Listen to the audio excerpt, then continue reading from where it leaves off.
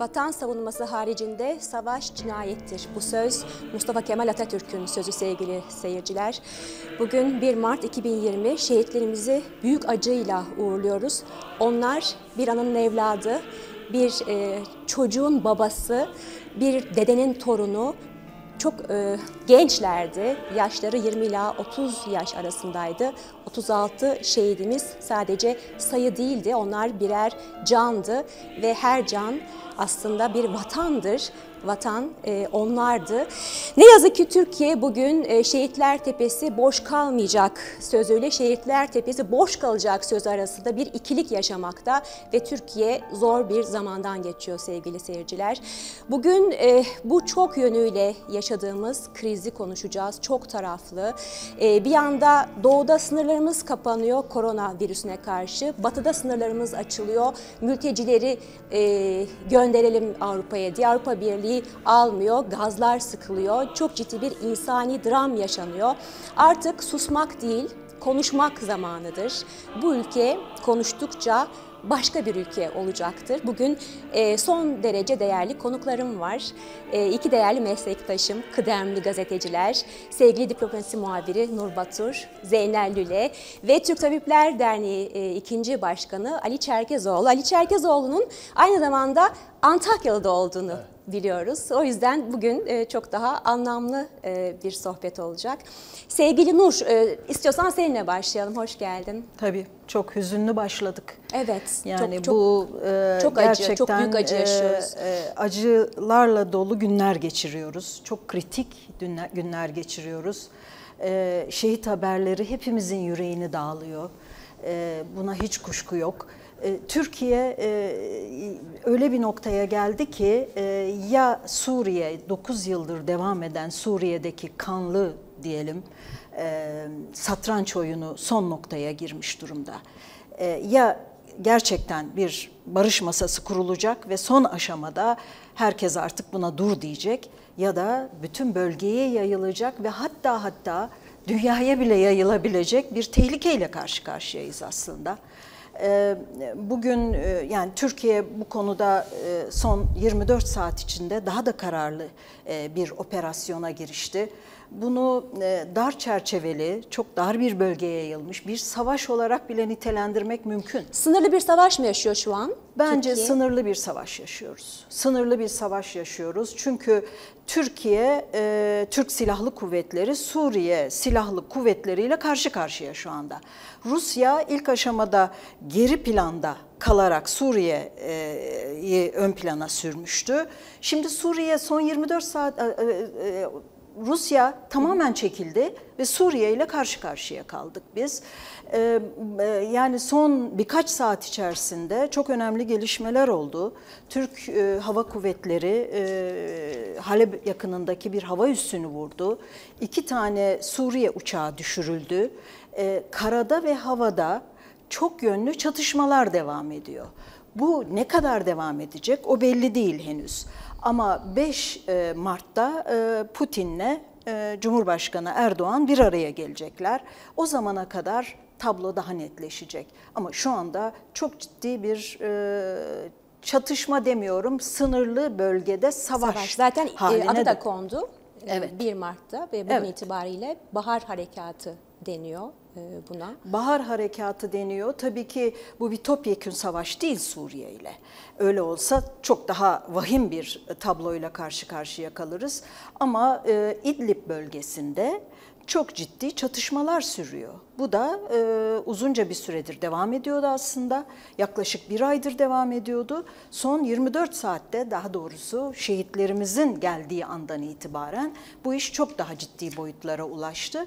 E, ve önümüzdeki e, belki 24 saat, 48 saat e, ve 5 Mart'a kadarki süre e, ben çok kritik, kritik görüyorum. Evet. Bahar Kalkanı koydular. Bahar Kalkanı. Evet. Kalkan ciddi bir şekilde bir harekatın ismi aslında. Harekatı olsa belki biraz daha Çünkü Barış Pınarı'ydı bir, bir Evet. harekatın adı. Bu Bahar Kalkanı. Bahar Kalkanı evet. Sonuçta ciddi bir harekat e, ihtimalinin fazla olduğunu düşünüyorum ben de. Fakat Nur'un o söylediği yerden belki devam edeyim. Ben bir, bir hüzünlü bir şekilde başladık.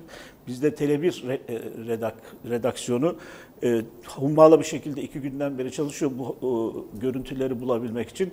Rana diye bir editörümüz var. O e, şehit yakınlarıyla röportajları hazırladı bize. Aynı zamanda da göçmenlerin e, dramını anlatan bir e, haber hazırladı. Hüngür hüngür ağladığını gördük Tele1'in ortasında. E, gerçekten de duygulanmış, içine atamadı. O ha- ha- haberi hazırlarken kulaklık kulağında ve nasıl ağlıyordu yani. Gerçekten de hele hele bu türlü müziklerle işi e, Çok daha büyük da... insan dram yaşıyor. Çok büyük Zeynep. insan Sen dram de yaşanıyor. Tele1'de her gün gün ortası programını yapıyorsun. Evet. Ee, sıcak gelişmeleri de aslında senden alalım. Bugün de buradaydın. Bugün buradaydım, dün de buradaydım tabii dün bütün gün. E, aslında benim gün ortası programım yok dün de. E, bugün de buradaydım. Arkadaşların zaten o takviye ihtiyaçları var. Bir de desteğe de ihtiyaçları var. Dediğim gibi işte o duygusal anları bile haberleştirmek e, bir gazeteci için, bir haberci için çok zor bir şey. Bir de sahada artık yarından itibaren arkadaşlarımız oradan bize haber geçecekler. Tele1 e, muhabirleri. Biz oradan sıcak sıcak haberler alacağız ve röportajlar yapacağız. Mümkün olduğunca oradaki olayları ve bu harekatı yansıtmaya çalışıyoruz. Yaptığımız şey tabii uzmanlarla konuşabilmek, sahadaki kişilerle konuşabilmek. Tabii ki mümkünse eğer askeri harekatın ne anlama geldiğini asker kökenli olan emekli e, askerlerimizden, e, komutanlardan almaya çalışıyoruz. Diplomasi acaba işler mi diye büyükelçilerle konuşmaya çalışıyoruz. Emekli olan büyükelçilerimiz. Artık Anlamaya daha- çalışıyoruz daha ne konuşuyor. olduğunu. Ne olduğunu anlamaya çalışıyor sonuçta ama tabii bu savaşın anlaması, anlaması oldukça güç bir savaş olduğunu düşünüyorum ben. İdlib'de ne işimiz var sorusunu sadece biz değil herkes soruyor. Evet. O kadar acı bir şey ki 30 33 e, 35 giderek 36. artan 36 en son artan şehit sayısından bahsediyoruz. Gördük işte gencecik 20 ile 30'lu yaşlar arasındaki çocuklar niye ölüyorlar? Gerçekten de sorulması gereken bir soru. Ben e, saldırıdan bir gün önce Antakya'daydım. Hatay sınırına gittim ve Reyhanlı'da neler olduğunu araştırdım. E, bir kere e, siz biliyorsunuz Antakyalısınız. Reyhanlı'nın o sınırı e, tarıma çok elverişli E, ama çiftçiler çok üzgün. Çünkü atılan bombalardan ürünler, mahsuller artık e, verim veremiyor. E, insanlar o bölgelere gitmek için her gün e, nüfus cüzdanlarını göstermek zorunda. Tarlalarda çalıştıracak işçi bulamıyorlar. E, o kadar üzücüydü ki yani insanlar umudunu kaybetmiş Antakya'da, Hatay'da, Reyhanlı'da. E, bunu görmek üzücüydü e, ve orada olmak. E, Atme e, mülteci kampı var arkamızda ve İdlib'den her gün sayısızca insan e, akın akın geliyor. E, Bir yandan orada sınır kapalıyken biz bir yandan batıda sınırlarımızı açtık Avrupa'ya gitsinler diye. Siz Antakyalısınız. E, haber alıyor musunuz bugün özellikle Reyhanlı'da ve Kırıkhan'da çok ciddi bombalama sesleri geliyormuş. Tabii bizim aldığımız haber yakınlarımızdan, ak- arkadaşlarımızdan tedirginlik. Yoksa işin askeri boyutunu bilmeleri mümkün değil. Tabii bugün son bir haftadır e, kaybedilen canların e, öncelikle yakınlarına başsağlığı ve yaralılara şifa dileyerek başlamak gerekiyor gerçekten. Çok acı bir tablo. Çok. Fakat bu acı tablo tabii aslında 10 yıldır süren bir tablo. Şu an biraz daha gündem olduğu yaşandı ama İdlib sorunu ya da Suriye savaşı sorunu ya da adına ne diyeceksek Büyük Orta Doğu projesi meselesi e, bütün sınır hattını ama e, en çok da İdlib'in e, sınırındaki Hatay'ın, Antakya'nın, Altınözü'nün, Reyhanlı'nın yurttaşlarını tabii Afrin'in sınırını, Kilis'i, Antep'i, Urfa'yı da kuşkusuz etkiliyor ama çok derinden sarstı ve 10 yıldır oranın neşesi gitti. Evet. Aslında bütün ülkenin neşesi gitti. E, yıllardır böyle yaşıyoruz. E, hiçbir yerden bir haz alınmıyor. Ortak bir mutluluk tablosu görmüyoruz. Maçlarda bile bir başarı yaşandığı zaman Gülemiyoruz artık. Gülemiyoruz, e, eğlenemiyoruz. Topluca toplum olarak e, ya sanatta, sporda, herhangi bir toplumsal olayda siyaset kördüğüm olmuş siyasetin, savaş siyasetinin daha doğrusu. Bu sadece Suriye ilişkin değil. İçeride dışarıda çatışmacı siyasetin hegemonik, baskın ve es vermeyen, duraksamayan bir tahakkümü altındayız. Bu tabii Antakya'ya, Hatay'a çok daha feci yansıyor. 10 yıldır tedirgin insanlar. 10 yıldır e, sesini de duyuramıyorlar. Ses çıkarsalar bir dert, çıkarmasalar bir başka dert. İçine kapanmış. Aslında bu ülkenin en neşeli şehri. E, ama 10 yıldır içine kapanmış, e, kendi sorununu içinde yaşayan e, bir şehir. E, tabii mesele sadece oranın meselesi değil dediğimiz gibi ülkenin meselesi. Bu nedenle ülkece bir çare bulmamız lazım. Bir anda sihirli bir değnek belki yok. Onu hepimiz farkındayız ama biz Türk Tabipleri Birliği olarak üstümüze düşeni nasıl şimdi arkadaşlarımız, meslektaşlarımız e, Hatay Devlet Hastanesi'nde, şehir hastanesinde, sınırdaki bütün e, sağlık kurumlarında bir kısmı geçici görevli, bir kısmı gönüllü, bir kısmı... Evet, hepsi oraya. Hepsi oradalar ve tabii ki gelen bütün yaralılara, e, bütün tedavi gereksinim olanlara anında karşılık verecekler, yapıyorlar. E, Onlarla biz gurur duyuyoruz. Ve Size oradan gelen sıcak son bir haber var mı? ee, yo, Meslektaşlarınızdan. e, Ya bir tedirginlik var. Tabii çok e, özellikle e, o ilk günkü bütün bu asker ölümlerinin e, e, geldiği an çok dehşet bir duygu tabii. Çokça yaralı, çokça ölü. E, Aslında biz savaştayız ama savaşı hissetmiyoruz. Hekim arkadaşlarımız da e, herkes Suriye işinin ciddiyetinin farkında ama o tablo yani yaralıların, e, ölenlerin, cenazelerin görüntüsü tabii hekim de olsanız sizi dehşete düşürür. Düşürüyor ne yazık ki çünkü biz savaşta değiliz gibi yaşıyoruz ülke olarak ama 10 yıldır da bir biçimde savaşın da içindeyiz. E, bu biraz sıkıntılı bir durum tabii. E, gerçekten sıkıntılı. Umuyoruz ki, inanıyoruz ki e, sadece ummak ve inanmakla kalmıyoruz. Biz kendi ölçümüzde bütün demokratik kurumların, tabii ki medyanın, sivil toplum örgütlerinin, siyasi partilerin, meslek odalarının, herkesin müdahil olması gereken bir süreç. Tabii öncelikle ülkemizi, ülkemizin çıkarını ama beraberinde bölgenin, Orta Doğu'nun bütün halklarının ve dünyadaki e, bütün halkların, insanların e, çıkarını, en azından insani çıkarlarını esas alan bir yaklaşımın hakim olması için bir çaba içinde de olmamız gerekiyor. Biz o çabayı gösteriyoruz, ısrarla gösteriyoruz. Dönem dönem sözlerimiz yanlış anlaşılmaz, anlaşılsa da söylemekte de ısrarcıyız.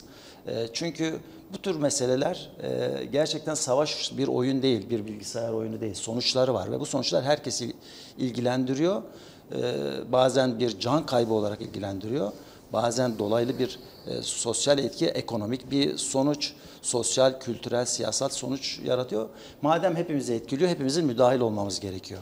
Bu bir kakofoni, bir kaos yaratmak anlamına gelmez. Gelmez. Fakat e, en kötü e, durum tek karar vericinin, tek karar vericilerin tek merkezden az veriyle müdahale edilmeyen, e, ek impuls uyaran almayan, eleştiri almayan bir yerin tartışmayan, değerlendirme yapmayan, çok boyutlu, geniş bir perspektifle bakmayan bir odağın savaşı sürüklemesidir. Dünya örnekleri de böyledir. Evet. Birinci Dünya Savaşı, İkinci Dünya Savaşı, küçük çatışmalar. Sadece tarih tekerrür ediyormuş gibi geliyor değil mi hepimize? Evet ne yazık ki Onu öyle. konuşacağız sevgili dostlar. E, söylediğim gibi saldırıdan bir gün önce e, Reyhanlı'daydım. Reyhanlı'daki durumu biraz e, insanlarla konuştum. Şimdi o görüntüleri izleyelim.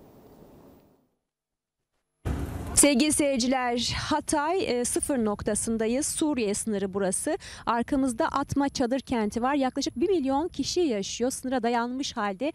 Arkamızda gördüğünüz çadır kentte çocuklar, kadınlar e, çok ciddi zor koşullarda yaşıyorlar. Ve ne yazık ki sınırımızdan her gün bir şehit haberi geliyor. Buradaki insanlar Bükülmez köyü burası artık bombalamalara, e, helikopter seslerine çok fazla alışmış. Hatta kayıtsız kalmış durumdalar. Buraya gelmek ve size bunları göstermek istedim.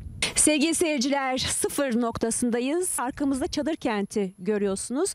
Ee, hemen sınırın arkasında ki çadır kentte e, yaklaşık 1 milyon insanın yaşadığı e, iddia ediliyor. Ve e, sıcak bölge e, burada herkes biraz tedirgin. E, burası neresi? E, Tamer Apiş'i tanıştırayım size. Reyhanlı CHP İl Yönetim e, Kurulu üyesi. Neredeyiz Tamer Bey? Reyhanlı'nın e, Bükülmez mahallesindeyiz. Sınıra sıfır noktadayız. Atme nahiyesinin e, kampındayız. Bitişik komşuyuz. Evet, hemen arkadaki kamplar Atma kampı Atma mı? kampı. Nahiyede sol tarafımızda Atma kampı ilçesi e, nahiyesi görünüyor. Kaç Bitişiyle kişi yaşıyor orada şu an? Toplamda 1 milyon civarı deniyor.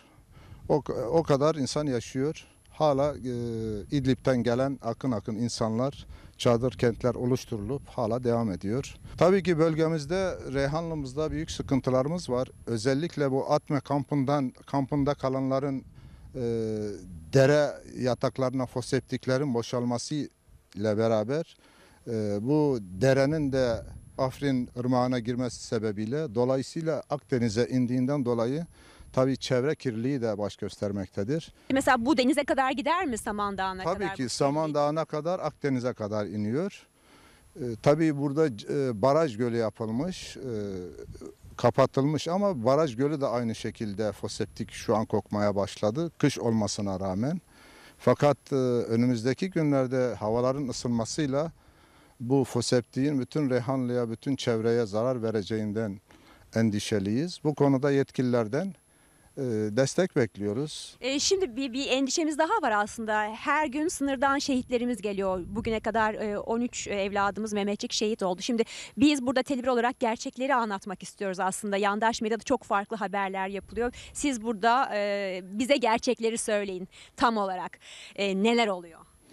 Gerçekler şu, Türkiye tabii ki e, Suriye'nin yasal hükümetiyle masaya gelmek durumunda. Aksi takdirde e, her geçen gün gençlerimiz, askerlerimiz, Mehmetçiklerimizi bu şekilde kaybediyoruz.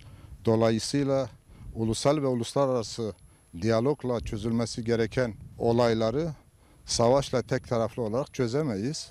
Bu konuda biz muhalefetin temsilcileri olarak iktidarın bir an önce Suriye iktidarıyla masaya oturup bu sorunu çözmek lazım diye düşünüyorum. E, iş ne kadar e, ciddi? İş şöyle, e, Reyhanlı halka adına, Mehmetçiklerimiz adına çok ciddi. Çünkü sınır ötesi harekatta e, koalisyon güçleri bizimle beraber değil. Yani NATO, batılı güçler bizimle beraber hareket etmediğinden dolayı tabi Suriye muhalefeti bizimle beraber. Suriye muhalefetiyle beraber biz kendi Mehmetçiklerimizi de feda ediyoruz. Bu konuyla ilgili yetkililerin duyarlı olup bir an önce ne gerekiyorsa masaya oturulması gerekiyorsa oturup bu işi çözmemiz, sonuçlandırmamız lazım. Netice itibariyle 10 yıldır bu savaş süreci başladı. Savaşla beraber Suriyeli mültecilerinin Türkiye'ye 4 milyona aşkın resmi ve gayri resmi hala gel- gelen İdlibli veyahut Suriyeli mülteci akınıyla karşı karşıyayız. Şimdi bir gece ansızın girebiliriz ya da rejim değişmeden oradan çekilmeyiz deniyor. Görüşünüz nedir bununla ilgili? Şimdi şöyle, tabii yıllar önce e, Beşar Esad hükümetiyle, Beşar'la sınırda e, vizeleri kaldırdık. Kardeşçe, ailece Sayın Cumhurbaşkanımız eşiyle birlikte Tatillere gidildi. tatillere gittiler. Onlar bize geldiler, misafir ettik. Türkiye'mizi gezdiler. Biz Suriye'yi gezdirdiler. Dolayısıyla böyle iç içe olan halkların ve akraba topluluklarının Reyhanlı'da mesela İdlib'de Suriye'nin her bölgesinde hepimizin akrabaları var. Bu süreçten bakıyoruz ki düşman sürecine girdik. Yani Türkiye şu an Suriye devletiyle savaşta. Evet öyle gösteriyor fakat bu sorun bizim sorunumuz değil. Batılı güçlerin, egemen güçlerin e, Orta Doğu politikalarıyla alakalı. Tabii batılı güçlerin dünyayı sömürme, yeraltı kaynaklarını ellerine geçirme veya batıya taşıma politikasına Türkiye'nin alet olmaması gerektiğini düşünüyorum. Aksi takdirde dünya kamuoyunda Türkiye Cumhuriyeti'ni gerek NATO gerek Birleşmiş Milletleri gerekse dünya toplulukları hep bizi baş başa bırakmışlar. Ezilen sınıfı, Müslümanları hep Türkiye Cumhuriyeti savunmuş, savunuyor. Tabii ki bunları savunurken demokrasiyi getireceğiz diyen batılı güçler e, hep bizi yalnız bırakmıştır. Bundan dolayıdır ki mevcut iktidarın yetkililerin bir an önce bu savaşın durdurulmasıyla ilgili ne yapılması gerekiyorsa, kimlerle masaya oturulması gerekiyorsa bir an önce yapılıp bu sorunun bir an önce çözülmesi gerektiğini düşünenlerdenim. Sınırdan e, hep şehitler geliyor. Siz e, oğlunuzu bu savaşa gönderir miydiniz?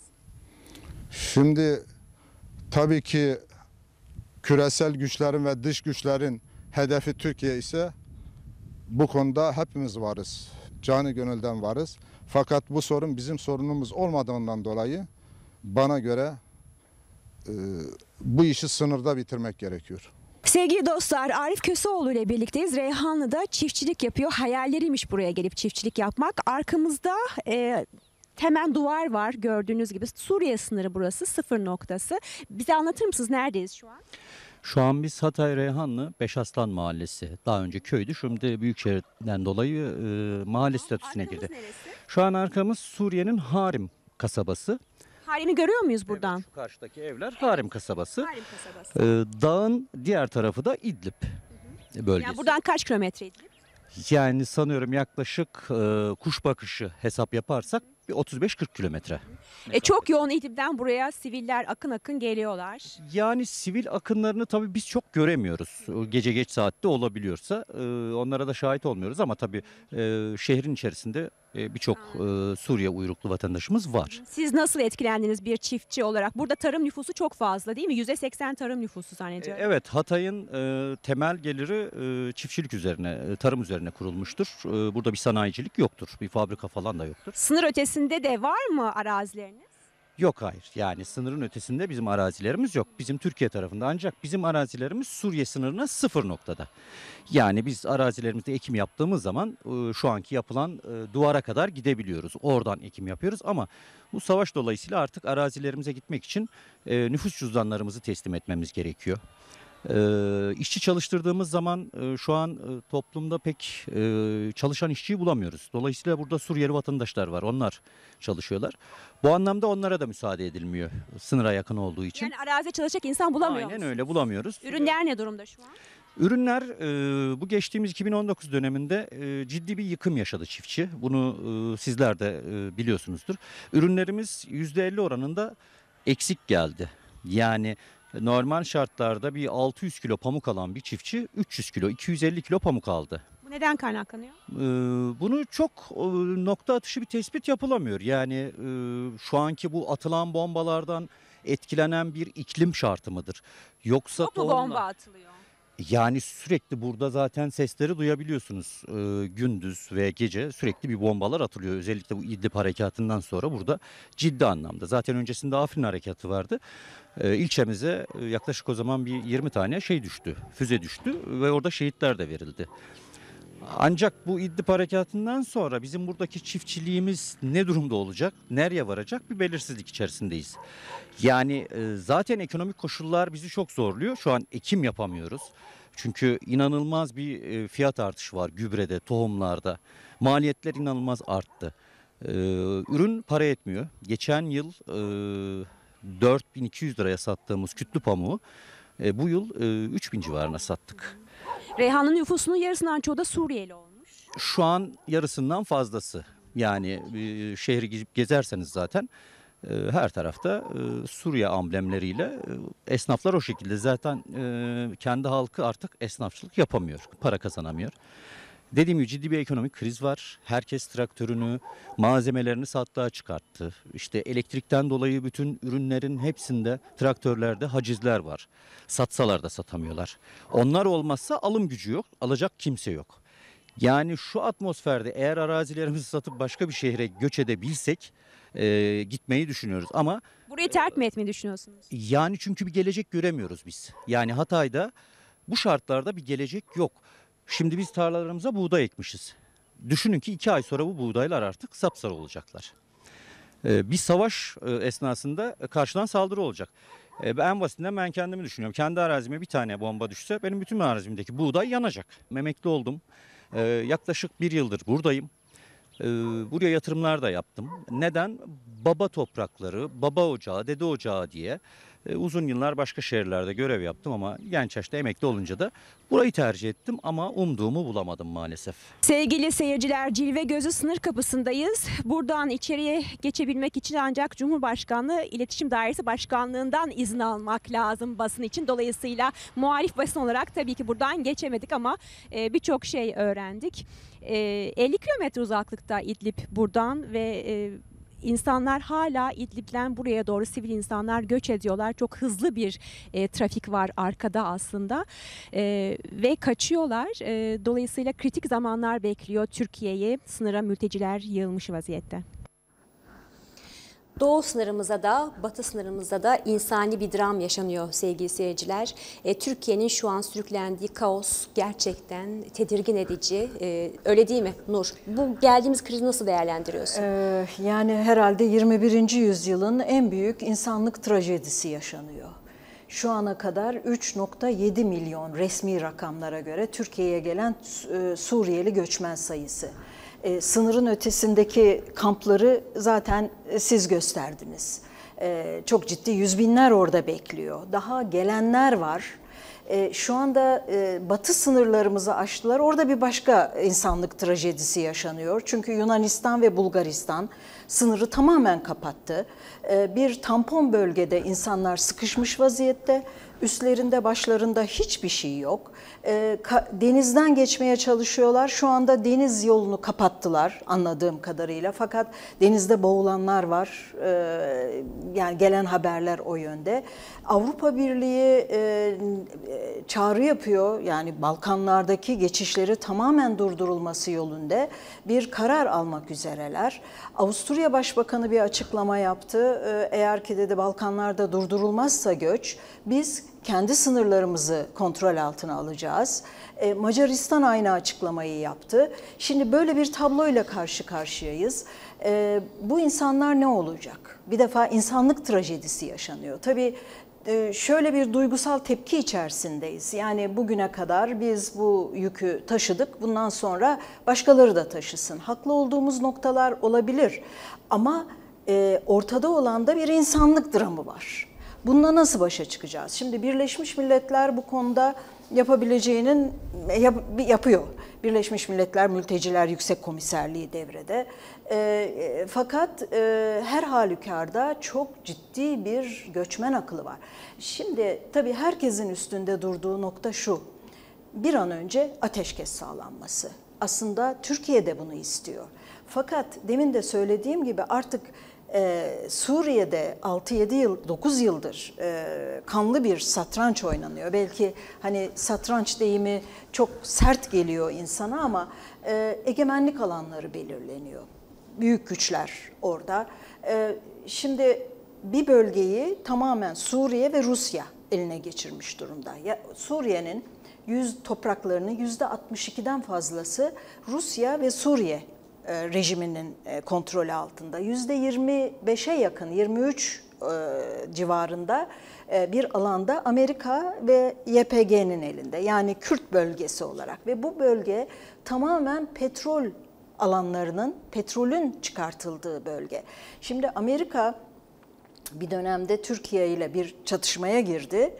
10 kilometre geri çekildi. Ondan sonra bir sessizliğe büründü dikkat ediyorsanız. Ee, ama ikinci aşaması var bu işin. Yani YPG, PKK, Kürt bölgesi orada duruyor ve kontrol altında tutuluyor. Amerika oradan çekilmiş değil ve petrol çıkartılıyor. Şimdi Rusya'nın kontrol altındaki bölgede en son İdlib bölgesi kalmış durumda.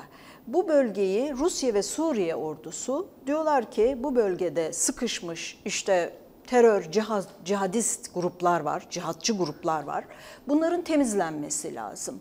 Ee, yaklaşık bir aydır Suriye ordusu belirli bir e, saldırı halinde ve muhalif güçlerle e, HTŞ denilen işte cihadist gruplarla çatışma halinde. Türkiye gözlemci noktaları var, gözlem noktaları var ve bunların bir kısmı yaklaşık haritalara göre tabii yüzde yüz bir şey söyleyemiyoruz ama gördüğümüz haritalara göre 10 tane gözlem noktamız e, Suriye ordusunun kuşatması altında görünüyor. Şimdi en son aşamada... Hava sahamız kapalı. Hava sahamız kapalı ama son 24 saat içerisinde Rusya müdahale etmediğini görüyoruz. Rusya biraz geri çekilmiş durumda Suriye ordusuyla Türk ordusunu karşı karşıya bıraktı. Zaten... E, bu, bu anlama geliyor Rusya? Biraz geri çekildi. Hı hı. Yani biraz geri çekildi. Ben yapmıyorum bak demeye getiriyor. Suriye ordusuyla siz hesaplaşın. Zaten Erdoğan'la Putin arasında en son telefon görüşmesinde Cumhurbaşkanı aradan çekilin bir Suriye'yi hak ederiz dedi. Şimdi ben şöyle bir yorumluyorum bu meseleyi. Biraz Putin geri çekildi, bıraktı Suriye ile karşı karşıya geldik. Ne olacak diye bekliyor. bu iş daha da büyürse, ateş yayılmaya başlarsa müdahale edebilir. NATO uzaktan izliyor meseleyi. O acil toplantıya çağrıldı. İşte bir takım taleplerimiz var. Hava sahasının kapat e, uçuşa güvenlikli yasak bölge ilan edilmesini Sadece istiyoruz. saldırıyı kınıyoruz dedi NATO. Yani şu anda NATO izliyor. Patriotları istedik. Onlar da henüz gelip gelmeyeceği belli değil. Yani biz kendi başımıza kaldık. Kaldık. Şu aşamada kendi başımızayız. E, 5 Mart'a kadar ne yapılabilecekse yapılacak bence. 5 Mart'ta Erdoğan'la Putin görüşmesinde tablo daha netleşecek. O zamana kadar her şey çatışma devam edecek gibi görünüyor. Belki daha genişleme ihtimali olursa belki an daha Gelecek hafta Perşembe'ye kadar yani. Gelecek hafta belki de daha önce. Keşke, Ama evet. keşke daha önce, Daha önce olsa, olsa. çünkü çok daha fazla kayıp olacak. Şimdi bundan sonraki süreçte yani demin de söylediğim gibi Suriye'nin %62'si Rusya'nın ve e, Suriye Suriye rejiminin kontrolünde. %25 Amerika'nın ve YPG'nin Kürt bölgesi olarak %11,5-12 civarında da Türkiye'nin kontrolünde. Şimdi Türkiye'nin buradaki hedefi neydi? Aslında Fırat Kalkanı ondan sonraki yapılan operasyonlarda iki tane önemli stratejik hedefi vardı. Birisi e, İran sınırından Akdeniz'e kadar bir Kürt kuşağının ve bu bağımsızlığa gidebilecek bir Kür- Kürt kuşağının engellenmesiydi. İlk bunu Fırat Kalkanı operasyonuyla yaptı ve durdurdu. İkinci arkadan Afrin e, operasyonu yapıldı. Daha sonra da ateşkes sağlandı. Ama İdlib'de sıkıştık kaldık.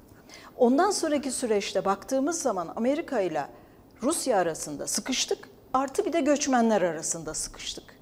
Şimdi bundan nasıl çıkacağız? O çok zor bir soru. Ee, demin de söylediğim gibi bence önümüzdeki 48 saat ve belki de 5 Mart'a kadarki süre son derece e, kritik. Bütün dünya seyrediyor şu anda. Rusya da dahil seyrediyor. Yani bu e, son derece kaotik bir duruma sürüklüyor aslında bizi. Yani e, Mustafa Kemal Atatürk Cumhurbaşkanı olduğu zaman sadece Türkiye'nin dış politikasına karışmış ve şunu söylemiş. Özellikle Orta Doğu bataklığına girmeyin. Ne Girdik yazık mi? ki girdik. Ne yazık ki girdik. Aslında tabii 2001 ile 2016 arasındaki süreç e, Türkiye'nin e, ya da AK Parti politikası olarak nitelendirmek lazım. Yani hatırlayın Emevi Camii'nde namaz kılacağız dendi. Bunu diyen bizzat e, o zamanki başbakan, bugünkü cumhurbaşkanıydı. E, geçen gün e, Ahmet Davutoğlu ben bunu söylemedim dedi. Cumhurbaşkanı söyledi aslında dedi ve videoları var dolaşıyor ortada. Şimdi Emevi Camii'nde namaz kılmadığımızın ötesinde Türkiye'nin dört bir yanında şehit namazları kılınıyor. Bütün camiler 190 yaklaşık 190 şehidimiz var Suriye'de. Bu rakam belki de daha fazla bilmiyoruz. Ee, Önceki operasyonlarla beraber. Evet yani son büyük operasyonlar ya bu rakam 110 ile 170, 180, 190 arasında bir e, şehitten söz ediliyor. Son bir ayda 54. Son bir Son ayda tarihte 54 Evet. Şehidimiz ait. var. Yani- Şimdi tabii büyük hatalar yapıldı. Yani buna hiç kuşku yok. Büyük hatalar yapıldı Suriye politikasında. Müslüman kardeşlerin bütün Orta Doğu'da egemen olacağını, iktidara geleceğini düşündü AK Parti. Sonuçta Müslüman kardeşler iktidara gelecekti. AK Parti ile yakın dirsek teması içerisinde mezhepçi olan politikalar Evet, bizi bu hale getirdi. politikalar bu noktaya getirdi. Bu noktadan sonra ne yapacağız? O çok. Bence demin de söylediğim gibi önümüzdeki 48 saat belki e, süratle bir ateşkes sağlanacak. E, yeni bir harita oluşacak İdlib bölgesinde. Ondan sonra tabii o bölgedeki cihatçı terör grupları nasıl temizlenecek? Biz mi temizleyeceğiz? Rusya mı temizleyecek? Uluslararası güçler mi girecek? Bence en büyük soru bu. 30 bine yakın e, savaşan cihatçı gruplar var. El Nusra, El Kaide gibi e, örgütlerle bağlantılı unsurlar bunlar. Bunlar ne yapılacak? Yani bence çok ciddi. Bu aşamada kritik ama ondan sonraki aşama daha da kritik. Şimdi tabii haklı olarak gazeteciler, uluslararası gazeteciler e, bu konuları böyle yorumlamaları e, çok doğal ve ben de e, dinliyorum zevkle. E, analiz, sonuç hatta öneri. E, ben de burada bir e, hekim örgütü Türk Tabipleri Birliği adına e, konuşan bir yönetici olarak her ne olursa olsun, koşullar ne olursa olsun barışı Ama mutlaka barışı savunmakla yükümlüyüm. Bazen bu tepki de duyuluyor. Çatışma ortamlarında, anlarında e, sanki barışı savunmak e, Suçmuş ül- gibi. suçmuş gibi oluyor. E, çünkü bizim böyle bir durumumuz da var bizim kurumumuzun, örgütümüzün. E, en temel tıp ilkesi olan savaş bir halk sağlığı sorunudur. Üst başlığı ki halk sağlığı derslerinde anlatılır. Evet, şimdi size onu soracaktım zaten. Her çatışma, her savaş, bu bizim ülkemizde, diğer ülkelerde, dünyanın her yanında, bu, bugün, dün, 100 yıl önce, 200 yıl önce, 50 yıl önce bir çatışma, bir savaş varsa o sadece askerleri öldürmez. O çatışma, o savaş altyapıyı tahrip eder, üst yapıyı tahrip eder, bedensel, ruhsal yıkımlar yaratır ve başta en dezavantajlı kesimler yani hamileler, kadınlar, yaşlılar, Çocuklar. kronik hastalığı olanlar, çocuklar, engelliler olmak üzere toplumun çok büyük bir kesiminde bir sağlık sorununa yol açar ve bu gerek bedensel gerekse ruhsal bir e, sıkıntıdır. E, ve bu 1, 2, 3 değil yüz binler zaten bazen milyonlara dönüşür. Bu sadece sınır hattındakiler için değil. Bu konuştuğumuz mesela sadece şu an Antakya'yı, e, Reyhanlı'yı falan ilgilendirmez. Türkiye'nin bütününde her şehit cenazesini yarattığı psikolojik travmadan tutalım buna. İşte Asi Nehri'nin e, kullanılan bombalardan kirlenmesine tarıma, altyapıya, üst yapıya, kanalizasyona, havaya, atmosfere, sağlığa, sağlık hizmetine, kronik hastalığı olana, kadına, yaşlıya, gebeye, göçmene, yerli halka, bu ülkenin bütününe bir sağlık sorunu olarak genel manada, geniş anlamda bir sağlık sorunu olarak döner. Ve bu bir halk sağlığı sorunudur. Biz bunu hatırlatmakla yükümlüyüz. Bizim bir önceki dönem yönetim kurulumuz bu konuda hapis cezası aldı. Biz istinaftan, Yargıtay'dan döneceğine eminiz. Geçen hafta Avrupa e, Hukukçular Komitesi bu konuda bir rapor da yayınladı zaten. Ama biz alıştık artık ya bu ülkenin hukuk sistemi bir süre sonra yerini gerçek hukuki zemine oturuyor. E, Bir, bir noktadan sonra işliyor. Buna inanmak istiyoruz daha doğrusu. E, ama şu an konumuz bu değil. Biz çünkü bu ülkeden vazgeçecek halimiz yok. Yani herhangi bir ceza yaptırım. ben anlamadım. Hapis cezası aldı mı? Halkı kin ve yani hal- savaş bir halk Halkı sağlığı kin ve sorunudur. nefrete E, Bu kadar başlığı Bu- bu olan bir açıklama halkı kin ve nefrete sevk ettiğine dair. Biz de burada zaten konuşmalarımıza çok dikkat ediyoruz. Ali Çerkezoğlu yani hani e, geçmişte e, birçok televizyon kanalında çalıştık. Hiçbir zaman e, sözlerimize bu kadar dikkat ederek konuşmazdık. Ben de yani dikkat ediyorum. Sansürün yapıldığı, olabildiğince çok yasakçı bir zihniyetin egemen olduğu bir medyada en azından e, Tele1'de sesimizi yükseltiyoruz ama sözcüklerimize çok dikkat ederek çünkü her söylediğimiz söz böyle bir anda bir ceza olarak dönebiliyor, bir rütük uyarısı olarak dönebiliyor, bir işte ne bileyim e, her türlü ceza olarak bize geri dönebiliyor. Dolayısıyla bu ülkede habercilik yapmak da çok ama çok zor e, bir Evet hale habercilik geldi. yapmak, demokratik bir meslek odasında tutum almak, hekim örgütü olarak bu ülkede çalışmak e, ama kafayı kuma gömmeden çalışmak, gerekli reaksiyonları göstermek zor. Gerçekten medya gibi, bizim kurumlar gibi. E, biz de Ama tartarak konuşuyoruz ama e, bilinsin ki e, söyleyeceğimiz sözden de imtina etmeyeceğiz. Etmedik, bundan sonra da etmeyeceğiz. Tabii ki dikkatliyiz. Ben de şu an her konuştuğumu tartıyorum ama bu tartmak hiçbir biçimde söyleyeceğimin özünü, ana fikrini ortadan kaldırmaz. Savaş bir halk sağlığı sorunudur. Dünyanın her yerinde böyledir, ülkemizde de böyledir. Ee, böyle de bundan sonraki her çatışma, her savaş buna yol açar. Bu bizim ülkemizi sevmediğimiz anlamını taşımaz. Bu ülkeyi benden daha çok seven kimse yok. Herkes için bu tek başına tartıldığı zaman böyledir. Bunu yarıştırmaya kimsenin de hakkı yok. Yoktur.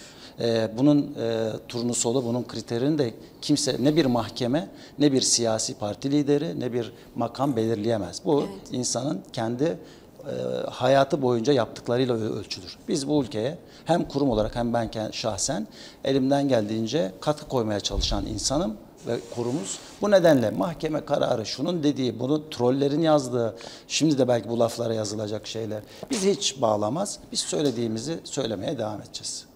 Troller bizi bağlamaz diyorsunuz. Deva bağlamaz yok. Hiç bağlamaz. bize bağlamıyor zaten artık. yani Tabii ki korkutamıyorlar barış bile. herkesin arzusu. Yani, artık konuşma zamanı çok önemli zamanlardan geçiyoruz. Yani e, Ya zaten en basitinden Sana şunu sormak söylemek istiyorum. Yani, yok yok.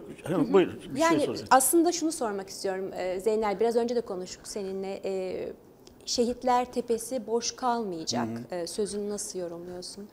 Ve bir yandan Cumhurbaşkanımız bunu söylerken bir yandan da CHP lideri Kılıçdaroğlu Ben çok şehitler ürkütücü buluyorum kesinlikle yani. boş kalacak. Böyle- Türkiye böyle bir şey böyle bir ikiye mi? bölünmüş durumda. Ha, o kadar ürkütücü bir laf ki bu. O kadar yani insanlar e, çocuklarını askere gönderebilir mi bu haleti ruhiye içerisinde? E, çok ürkütücü bir şey. O zaman da sorarlar. Yani şehitler tepesi boş kalmayacaksa ya- senin yakınların hiçbir zaman oradan şehit olarak gelmeyecek. Çünkü askerliklerini yapmadılar doğru dürüst. Ya da çok kısa süreli yaptılar. E, o zaman da Kılıçdaroğlu'nun söylediği söz önemli bizim iktidarımızda ya da millet iktida- e, iktidarında, Millet İttifakı'nın iktidarında şehitler tepesi boş kalacak biz söz veriyoruz dedi. Şimdi herhalde bu söz benim için çok daha kıymetli, çok daha önemli ve böyle bir şey istiyorum. Şehitler tepesinin boş kalmaması ürkütücü bir şey. Ben tüylerim diken diken oluyor. Biraz önce söyledim bizim editörümüz bu haberleri hazırlarken hüngür hüngür ağlıyordu. Bir de o şehitlerin yakınlarını düşünebiliyor musunuz? Annesini, babasını ya da yakınlarını, o insanların yaşadıklarını. Bizler bu haberleri yaparken kendimizi tutamıyoruz, hüngür hüngür ağlıyoruz. Şimdi o kadar da yani çok umarsız, çok tutarsız, çok duygusuz bir laf yani şehitler tepesi boş kalmayacak lafı. Yani çocuklarına kendi vatandaşlarının üzerinden siyaset yapmak budur herhalde. Böylesine bir siyaset. Ben çok ürkütücü buluyorum. Sonuçta e, bu söz tarihe geçmiştir ve belki yüzyıllar boyunca bu ülkede konuşulacak sözdür ama tabii ki iyi bir şekilde anılmayacaktır yani. Orası kesin.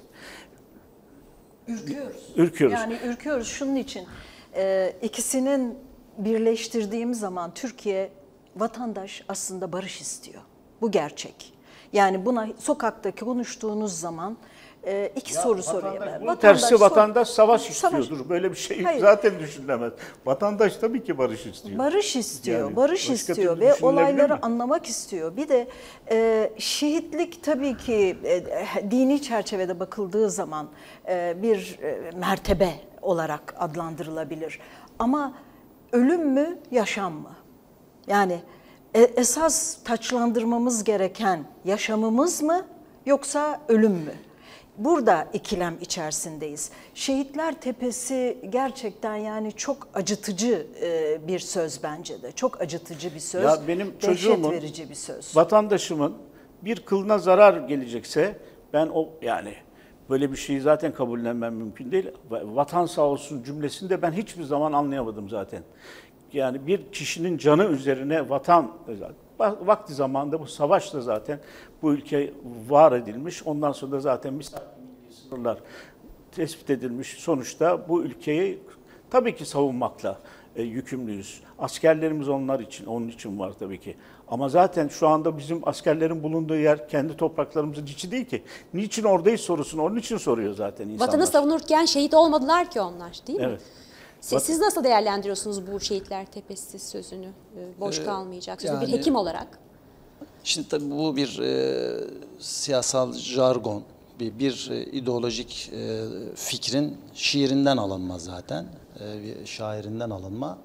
E, bir propagandif, bir duygusal yönü var. Ülke e, yönetimi, her ülke yönetimi olduğu gibi bizim ülkemizin yönetiminde kendi ülkemizin çıkarını savunması gerekir gerçekten, doğrudur. E, emperyalizme karşı tutum alması gerekir. Ee, bu çok nettir ve barış iklimini bir an önce tesis etmenin yolunu bulmalıdır. Yani kendi çıkarından vazgeçsin, taviz versin e, bu filan diyen de yok. Ben, biz öyle düşünmüyoruz. Fakat barış çabası olmadan yani insanların ölmediği, yaralanmadığı ve emperyalist oyunlara e, gelinmediği bir iklimde hızla barışın nasıl oluşacağına bizim ülkemizin çaba içinde olması gerektiğini savunuyoruz. Hekimler olarak biz prensip olarak barıştan yanayız. Yani esastan hiçbir çatışmayı, hiçbir savaşı savunmadığımız gibi esastan reddediyoruz. Re- Reddetmeye devam edeceğiz. Her e, barış günü yaptığımız açıklamalar, her çatışma anında barışa çağrı bizim misyonumuz bu. Ya yaşatmaya adanmış bir meslek zaten tersini söyleyemez. Hiç kimse bunu söyleyemez. Ama dediğim gibi beraberinde bu bazen işte demagojik olarak sanki ülkenin çıkarıyla karşı karşıya geliyorsunuz. Ül- Ülkenin çıkarı bizce barıştadır. Aynı burada da konuşulduğu gibi. E, bunu yöntemini tabii ki siyasiler hızla bulmakla yükümlüdür. İşleri bu. Bu ülkenin bütün siyasileri bizim gibi demokratik kurumların, medyanın, gazetecilerin uyarılarını dikkate alarak e, altını çizdiği hususları önemseyerek ve demokratik bir iklimde bunları tartışarak tartıştırarak bir stratejiyle en kısa zamanda barışa gidecek yolu bu teslim bayrağı çekilsin anlamına gelmez. Bunu savunan öneren de yok. Ben burada da kimsenin de böyle bir şey dediğini de düşünmüyorum.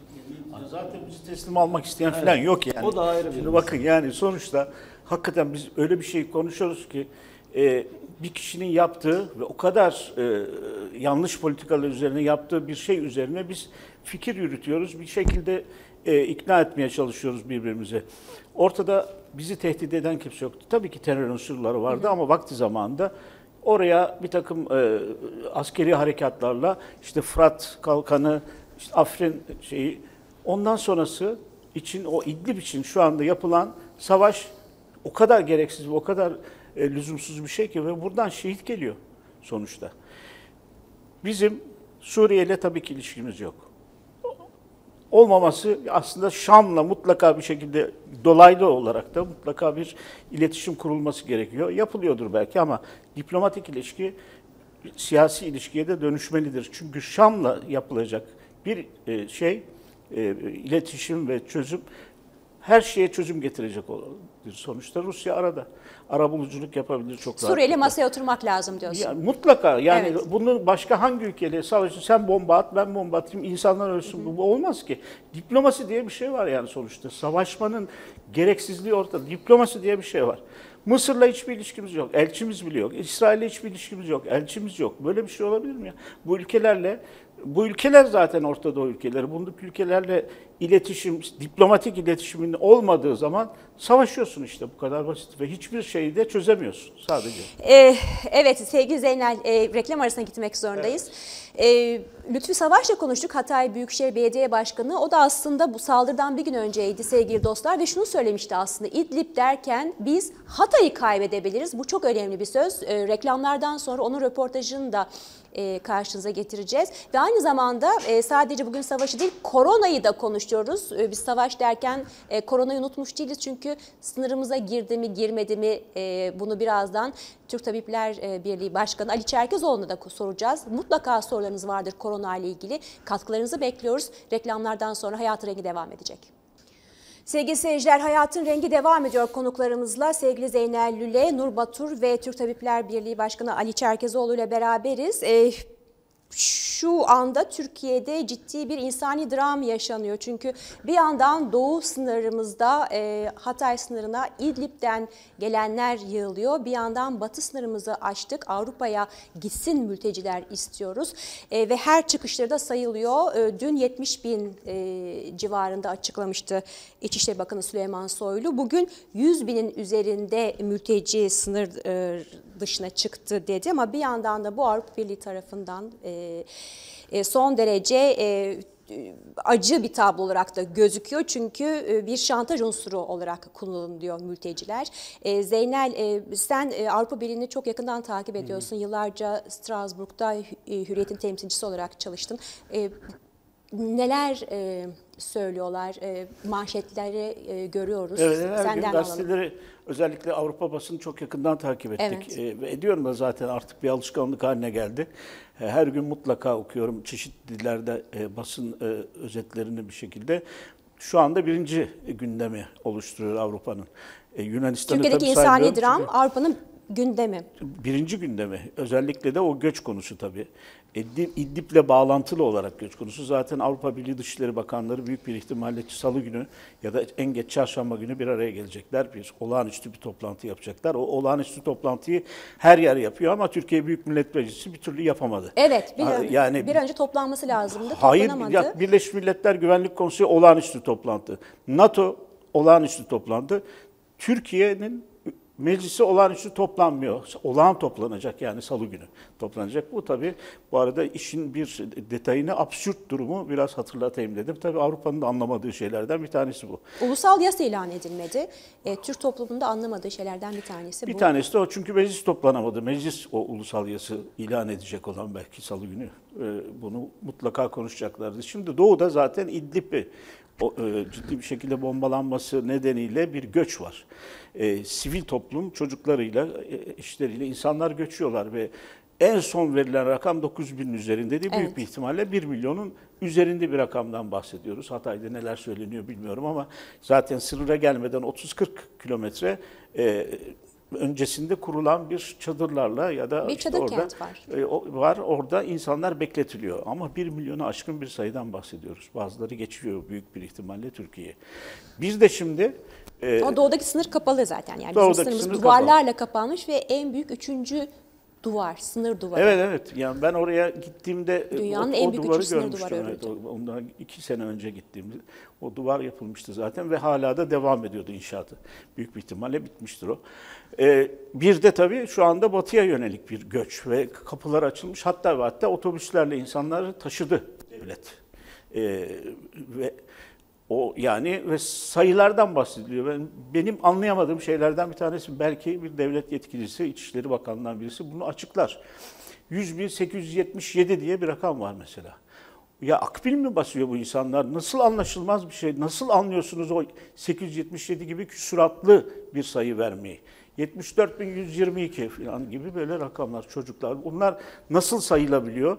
Bilmiyorum. Bunun herhalde bir teknik bir e, açıklaması vardır. Ama ben her duyuşumda biraz şaşırıyorum. Avrupa'dan söylenen rakamlar bu, bu kadar yüksek rakamlar değil. E, 10 bin civarında Yunanistan e, vermişti.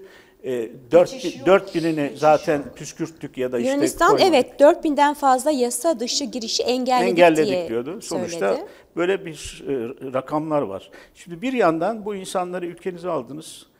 6 yıl boyunca e, baktınız. Bugün Yunanistan'da konuştum. Steli Verberakis, ortak arkadaşımız Nur Batur'la. E, ne oluyor diye ki yarın bir şekilde bize bilgi versin diye gün ortası programında. Çok mükemmel Türkçe konuşan insanlar geliyor diyor ve konuşuyorlar. Senden benden iyi konuşuyorlar dedi. Bu insanlar çünkü 6-7 senedir Türkiye'de yaşıyorlar yani. Ve o insanlar gidiyor şu anda kapıya dayanmış durumda. Artık açıyoruz sınırları dediğinden itibaren. Şimdi o insanlara demek ki bir şekilde iyilik yapamamışız. Bir de o var yani sonuçta gelmiş bu insanlar burada mutsuzlar ve bir an evvel kaçalım Kaçmak diğer tarafa gidelim duygusuyla hareket ediyorlar. Ondan sonra da aldık işte biz diyor ki e, Cumhurbaşkanı burada e, Türkiye'de insanlık e, yaptık. Biz onları e, işte kucağımızı açtık ve burada Avrupa bize yeterli kadar e, destek vermedi. Dünkü konuşmasında ne diyordu? Biz onları beslemek zorunda mıyız diyordu.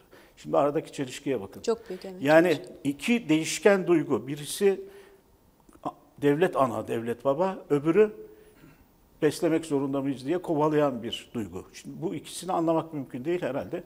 Bunu da bir de psikologlar anlatması lazım bir şekilde. Evet bunu e, Bence sınırdan geçiş yok. Yani Bulgaristan da kapattı göçmenlere, Yunanistan da kapattı. Orada Meriç'ten teknelerle belki geçmeye çalışanlar var, onlara engelliyorlar. Sisam ve e, Midilli'ye Ayvalık'tan filan geçişler olmuş. 500 kadar e, göçmen e, ulaşabilmiş. Bazıları denizde boğulmuşlar. Bazıları hipotermi Boğulan olmuş. mi? Bozulanlar. Ben Evet, o gördüm ben girmeden önce. Yani böyle bir şey var ve e, anladığım kadarıyla Türk makamları da artık botlara bindir binmelerine izin vermiyor. Öyle bir yasaklama da getirdiler. En azından denizden geçişi durdurmaya çalışıyorlar. Çünkü bir anda böyle boşaldı ve insanlar teknelere atlayıp ya da orada bekleyen işte e, tekneleri para evet, verip şimdi sınırı geçiyorlar. bu İpsal'a e, zannediyorum değil mi? Görüntüleri veriyoruz. Sınır kapısı. Pazar, Sınır paz- kapısı. Evet. Bu şey Edirne. Bugünkü, Edirne. bu, bugünkü Evet. taze yani çok sıcak görüntüler. Tabii tabii. Ya bu bir halk sağlığı sorunu. Bir- Evet, ciddi şimdi- bir dram aynı zamanda. Orada çocuklar var. Ee, Bu görüntüleri siz vermezseniz, Evet. değişik kanallar vermezse olay sanki işte 70 bin 800, 80 bin sadece sayı 180, olarak algılanıyor. e, 300 bin, 3 milyon, 3 milyon 700 gibi rakamlar. Siz şu kadar aldınız, şu kadar euro verdiniz. E, Kızılay üstünden mi, doğrudan mı, cebe mi, oraya mı gitti, buraya mı gitti? Halbuki bundan her bir birer can. Bu bazen unutuluyor. Gerçekten kayboluyor. Sisler arasında kalıyor.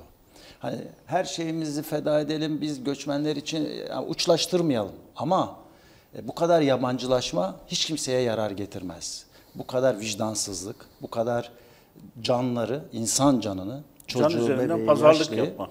Siyasetin tabii ki siyasetin hepimiz bir malzemesiyiz. Kapitalizmin kendisi bizim ömrümüzü tüketiyor çalışmakta vesaire. Ama en çıplak hali yani motora binmiş hamile kadınların, 3 yaşında, 2 yaşında çocukların cesetleri e, bir basit bir şeye kayaya değdiği an patlayacak bir bota emanet edilmesi ve bunun üstünden siyaset yapılması gerçekten kabul edilemez. Bu nedenle göçmen meselesi çok boyutlu ve savaşlar işte göç yaratır ve bu göç birer insanlık dramıdır. Sağlık sorunudur ama böyle basit bir sağlık öksürük meselesi değildir. Ateş meselesi değildir. Çok ciddi bir toplumsal sağlık, halk sağlığı sorunudur. Ve bunun üstünden siyaset yapmak en kötü siyasettir. Bunu sadece bizim şu anki iktidar, ülkemizi yöneten iktidar için söylemiyor. O da öyle yapıyor gerçekten ama bunun gerçekten esas müsebbibi Amerika'sı, İngiltere'si, Almanya'sı. Bunu ısrarla ve kararlılıkla hatırlatmak lazım. Sadece Suriye için de değil. Daha önce de yüz binlerce Iraklı halen o yüz binlerce Afganistanlı, Pakistanlı, Af- Afrikalı, Afrikalı. kendi keyfinden hiç kimse bakın sadece yoksullukla açıklanmaz ya da kuraklıkla e, açıklanmaz. Kuraklığın da sebebi bunlar da yani insanlar kendi topraklarında daha kıt kanaat geçirmeyi göze alırlar. Kimse gönüllü e, sadece keyfi olarak e, Avrupa'ya doğru göç etmez. Bu bir yandan ya bir savaş vardır, kendisinin tercih ettiği ya da etmediği ki çoğunlukla etmediği. Amerika'nın bir projesi oluyor, İngiltere'nin neyse kimse bunların küresel kapitalizmin finansörlerinin, yöneticilerinin ve o proje tabii insan hayatına mal oluyor. İnsan hayatları üstünden dönüyor. Irak'ta olduğu gibi, Afganistan'da olduğu gibi, şu anda da Suriye'de olduğu gibi ve bu e, savaş anında Savaşlar olmasa da zaten son 40-50 yıldır bir kavimler göçü yaşanıyor. Kapitalizm bu kendi merkez ülkeler dışında rahat bir yaşam alanı bırakmıyor. Tüketim odaklı, e, ucuz iş gücü ve e, doğasını, altyapısını e, oradaki biraz kayıtsızlaştırıyor işbirlikçi insanları diğer yöneticilerle- karşı. Bu bir tesadüf değil. Değil, evet. Yani son 40-50 yıldır Afrika'dan orta o- Ya ben Orta 97 Doğu'dan- yılda Kakuma mülteci kampında Afrika'nın Kenya'nın kuzeyinde çalıştım. Mülteciler Yüksek Komiserliği için bir buçuk ay çalıştım orada ve ilk mülteci sorunun ne demek olduğunu çok iyi bilirim. E, o benim kırılma noktamdır zaten. E, ve e, oradaki bütün mültecileri gördükten sonra Sudan sınırından bütün e, gelmişler. Farklı Afrika ülkelerinden kadınlar savaştan, e, kocaları öldürülmüş e, çocuklarıyla yalanayak gelen kadınları Ama işte gördüm. bir Onlar için çalıştım. Sebebi var. Şunu da Arkası- bil- şu da bir gerçek ki aslında biz mülteciye sanki bizim dışımızdaki bir unsur gibi bakıyoruz. Biz her an bir gün mülteci, durumuna düşebiliriz. Büyük bir deprem de bunu yaratabilir, bir savaş yaratabilir. Aynen. Bugünden yarına ben kimliğini alamamış insanların nasıl kendi mülteci kampında bulduğunu gördüm. Harvard'da bir profesör mesela Afrika'da ailesi ziyarete gitmiş, mülteci kampındaydı, kimliğini alamamış. Yani çok ağır ve acı bir durum ve dünyanın en önemli sorunu bugün. Yani ben Bu bunu sorunu. çok doğru söylüyorsunuz. Bunu Dediğiniz bir gibi. kez daha altını çizmek istiyorum. Ee, Kayıtsız kalmamak kendi lazım. Bir gün herkes kendi mülteci olarak kişisel bulabilir. Bunu tercihi konuşalım. Değil, Evet. Kişisel tercih değil ama tabii ki mülteci göçmen haline geldikten sonra Avrupa'ya gitmek istiyorlar. Ben de olsam öyle yaparım. Bu hani niye gidiyorlar sorusu kadar saçma bir soru olamaz kuşkusuz. Zaten göç etmek zorunda kalmış. Diyelim ki Halep'ten, diyelim ki Irak'ın herhangi bir yerinden, Afganistan'dan, Pakistan'dan. Türkiye'ye gelmiş. Türkiye'de kendince biraz daha güvende hissetmiş ama oradaki daha sosyal hakları gelişkin Avrupa ülkesine giderse oradaki 40 yıllık bir mücadeleyle edil- elde edilmiş haklardan yararlanmak istiyor. Çok insani bir şey. Bu onu suçlanamaz. Ama bunun bu da kendi kişisel tercihi değil buralara gelme işi. Belki çok yüzde beşlik, onluk, üçlük bir kesim bilerek tercih ediyor ama çoğunluğu zorunluluktan geliyor. Bir de vatanları dönmek istiyorlar aslında. Bu nedenle Sorduğunuz vakit esas- dönmek istiyorlar Dönmek. Esas müsebbiplerini, esas muhataplarını, esas sebep olanları sürekli hatırlamakta, hatırlatmakta fayda var. Evet. Gerçekten Amerika'sı, İngiltere'si, kimse Avrupa Birliği bu sadece bu sonradan fon vererek, eğitim vererek, onlara tıbbi destek vererek olmaz. Bunun sebebi olmamanız lazım. İnsanlar kendi toprağında, kendi köyünde, kendi şehrinde belli bir gelişkinlik, belli bir iş olanağı bularak kalabilmeli, yaşayabilmeli ve bir nokta daha var ki çok önemli. Bizim ülkemiz de tabii bundan yarar, iktidar, ülkemizin iktidarı da ne yazık ki bunu istismar ediyor ve kullanmaya çalışıyor. Bunun da altını çizelim. Ama çok önemlisi sadece şu an e, Yunanistan Bulgaristan sınırındaki şu son bir haftada yaşanan dram değil. Beraberinde Maraş'ta e, bu kaostan aslında hiçbir ilgisi olmayan Suriyelilerin dükkanlarının, evlerinin saldırıya uğraması. Bunu şunun için hatırlatıyorum. Göçmen karşıtlığı, e, mülteci karşıtlığı e, çok e, yaygınlaşan bir ırkçılığa kadar varan bir tutumdur. E, bu sadece bizim ülkemize özgü değildir. Avrupa'da da benzer şeyler yıllarca yaşanmaktadır. Bununla mücadele edilmesi gerekir. Bırakın doğal karşılanmasını, tasvip edilmesini, sırtının sıvazlanmasını, yani bu tür göçmen karşıtı tutumların, saldırıların, e, öfkenin, böyle böyle bu göçmen karşıtı mülteci düşmanlığı fikrinin doğal, olağan ve yaygın hale gelmesini, tam tersine bunu olağanlaştırmanın e, tersine bununla özel olarak mücadele medyasıyla, başta iktidarıyla, hükümetiyle, sivil toplum örgütleriyle bununla mücadele... E, ortak bir dil yaratılması Kendiliğin- lazım değil mi? Bu kend- çok Eğer önemli. mücadele etmezseniz, kendiliğinden bırakırsanız insanların en ilkel duyguları benim alacağım işi benim elimden alıyor, benim ekmeğimi benim elimden, benim suyumu, benim ülkemi. E, bu beraberinde e, ırkçılığa kadar varır. Bu ülkeye faydası olmaz bu öfkenin. Eğer özel olarak manipüle edilen günlük siyasi, güncel siyasette kullan, malzeme yapılması zaten aslında e, kabul edilir bir şey değildir. Hani bilerek iradi olarak yapılıyorsa velev ki öyle olmuyorsa bile bizim önerimiz biz yıllarca bunu savunduk şimdi de savunuyoruz Türk Tayyipleri Birliği olarak göçmenlerle empati kurulması, göçmen sorununa ciddi çalışmalar yapılması ve en yetkili ağızlardan sadece siyasi, siyasilerin değil medyanın, sivil toplum örgütlerinin, demokratik kurumların bir başka dili, bir başka yaklaşımı hakim kılması gerekiyor. Yani göçmen karşıtlığı mücadele edilmesi, engellenmesi gereken bir zihniyettir aynı zamanda. Evet, şimdi bu zamanlama da e, çok e, tabii kötü denk geldi. Yani şehitlerimizin olduğu gün sınır e, kapıları açıldı ve sanki yani bütün bu acılar e, mültecilerden kaynaklanıyormuş gibi mültecilere direkt bir öfke yöneldi. E, sevgili Nur Twitter'da görmüşsündür belki. Haluk Levent sınırdaki bu ahbap ekibiyle onlara çocuklara süt mama götürdükleri için Twitter'dan inanılmaz bir tepki aldığını ve buna karşı bir e, cevap verme gereğini düşündü. Yani burada hani asıl olan vicdandır diyoruz ama bu vicdan bile bazıları tarafından yargılanabiliyor. E, sen de yıllarca mesela Yunanistan'da yaşadın. Atina muhabiriydin. Göç sorununu da çok iyi biliyorsun. Çok yakından tanıyorsun. E, o- onları da aslında e, yani onların da yaptıkları doğru değil. 700 bin insan aldılar sadece mültecilerden. Türkiye'de 4 milyon mülteci yaşıyor. Sen bu durumu nasıl değerlendirirsin? Şimdi tabii daha büyük fotoğrafı gör. Tabii insani açıdan çok büyük bir dram yaşanıyor. Ama bu 21. yüzyılın, daha önceki yüzyıllarda da bunu yaşadık. Birinci Dünya Savaşı, İkinci Dünya Savaşı, savaşların hepsinin sonunda bir insani dram yaşanıyor. Birinci Dünya Savaşı'nda 20 milyona yakın insan öldü. Ee, İkinci Dünya Savaşı'nda 50 milyona yakın insan öldü. Yani bu rakamlar böyle telaffuz ettiğimiz zaman e, ürkütücü gibi gelmiyor ama rakam gerçekten büyük. Yani 50 milyon insandan söz ediyoruz İkinci Dünya Savaşı'nda. Şimdi e, 89'dan 90'dan itibaren dünya yeniden şekilleniyor. E, egemen güçler, büyük güçler arasında yeniden dünyayı paylaşma e, mücadelesi yaşanıyor. Evet. Bu e, önce Kuzey Kure'de, e, Kuzey kürede başladı. İşte e, şey devletler e, parçalandı, Sovyetler Birliği parçalandı. Sonra güneye indi.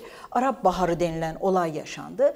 Bütün bunların hepsi insan kanı üstünde. Ne yazık ki insanların trajedisi üstünde E şimdi yaşanıyor. tweet gelmiş Ümit Kıvanç'tan feci haberler akmaya başladı. Mülteci teknelerine saldırıp motorlarını bozan maskeli adamlar Türk-Yunan sahil güvenlikleri ise karışmıyor, insan hakları aktivistleri ise göze alınıyor demiş.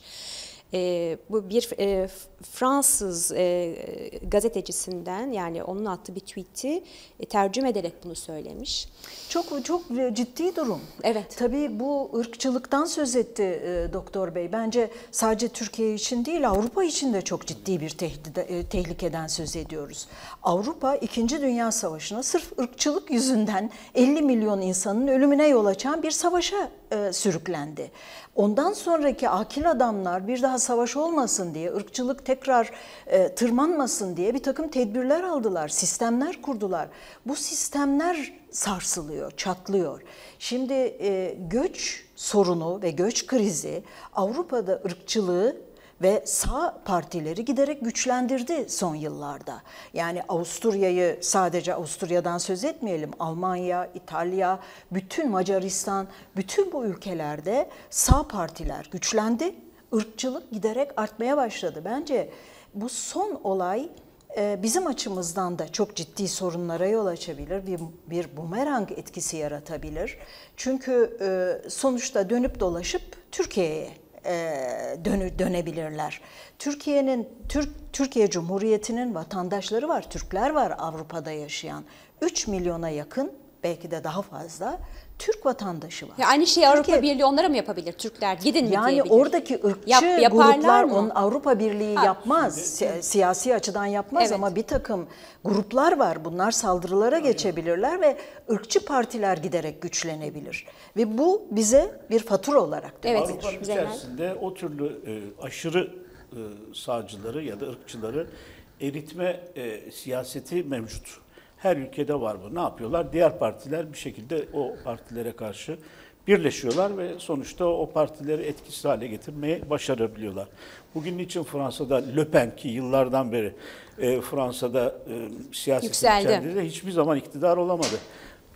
Ama ol- olmayacak anlamına gelmiyor Gelmiyor. ama sonuçta e, o siyaset içerisinde eritmek için elinden gelen çabayı yapıyor. Tabii ki muhtelif e, olaylar yaşanıyor Almanya'da yaşandığı gibi. E, çılgın, densiz, e, meczup birisi çıkıyor, tarıyor e, iki tane kahveyi, işte dokuz kişi öldürüyor, annesini öldürüyor, kendisi de intihar ediyor sonuçta. Böylesine tabii olaylar yaşanıyor ama Türkiye'de buna benzer çok toplumsal hareketler oldu. 6-7 Eylül hadiselerini unutmayalım. Madımak olaylarını unutmayalım Sivas'taki. Yani Türkiye her an buna çok yatkın olan bir toplumu içerisinde besleyen bir ülke. Yani mültecileri Çok bırakalım. Dün tehlikeli. akşam Karşıyaka mesela e, şehitlerimize saygı olarak kordon boyu Türk bayraklarını asarak birçok arabayla e, bir saygı yü- yürüyüşü yaptılar. E, Bunun akabinde hemen Bursa'da insanlar e, Tabii. sokağa çıktı. Allahu Ekber e, Tabii. şeyiyle. Mehter maçlarıyla yürüyen insanlar. Yani hani böyle de bir bir var. tırmanış var. Var. Bunu Sonuçta iki grubu, iki lazım. toplumu karşı karşıya, farklı farklı düşünen insanları karşı karşıya getiren, getirebilecek bir sistem maalesef mevcut Türkiye'de ve her an o bir felakete dönüşebilir. Türkiye'de böyle bir potansiyel var toplum içinde. Maraş örneğini verdi Ali Bey.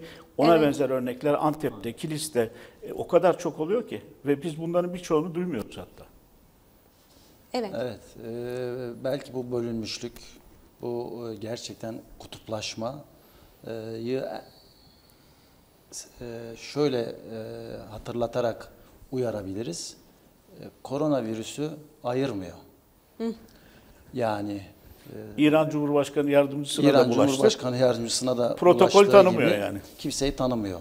Bu nedenle e, hani ikinci gündemimiz buydu. Evet, Ben ikinci bir- gündemimize şunun için geçebiliriz, evet. Şimdi Doğru bir yandan korona için sınırlar kapatılıyor. İtalya'dan uçuşlar e, iptal ediliyor. İptal edildi. İran sınırı kapatılıyor. Ticaret vesaire kültürel geçişler engelleniyor.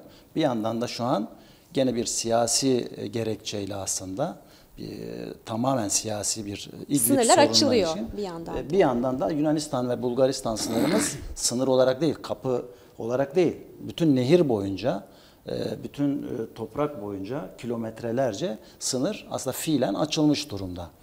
E, Bu bir ironik bir durum tabii, bir, bir tezat aynı zamanda.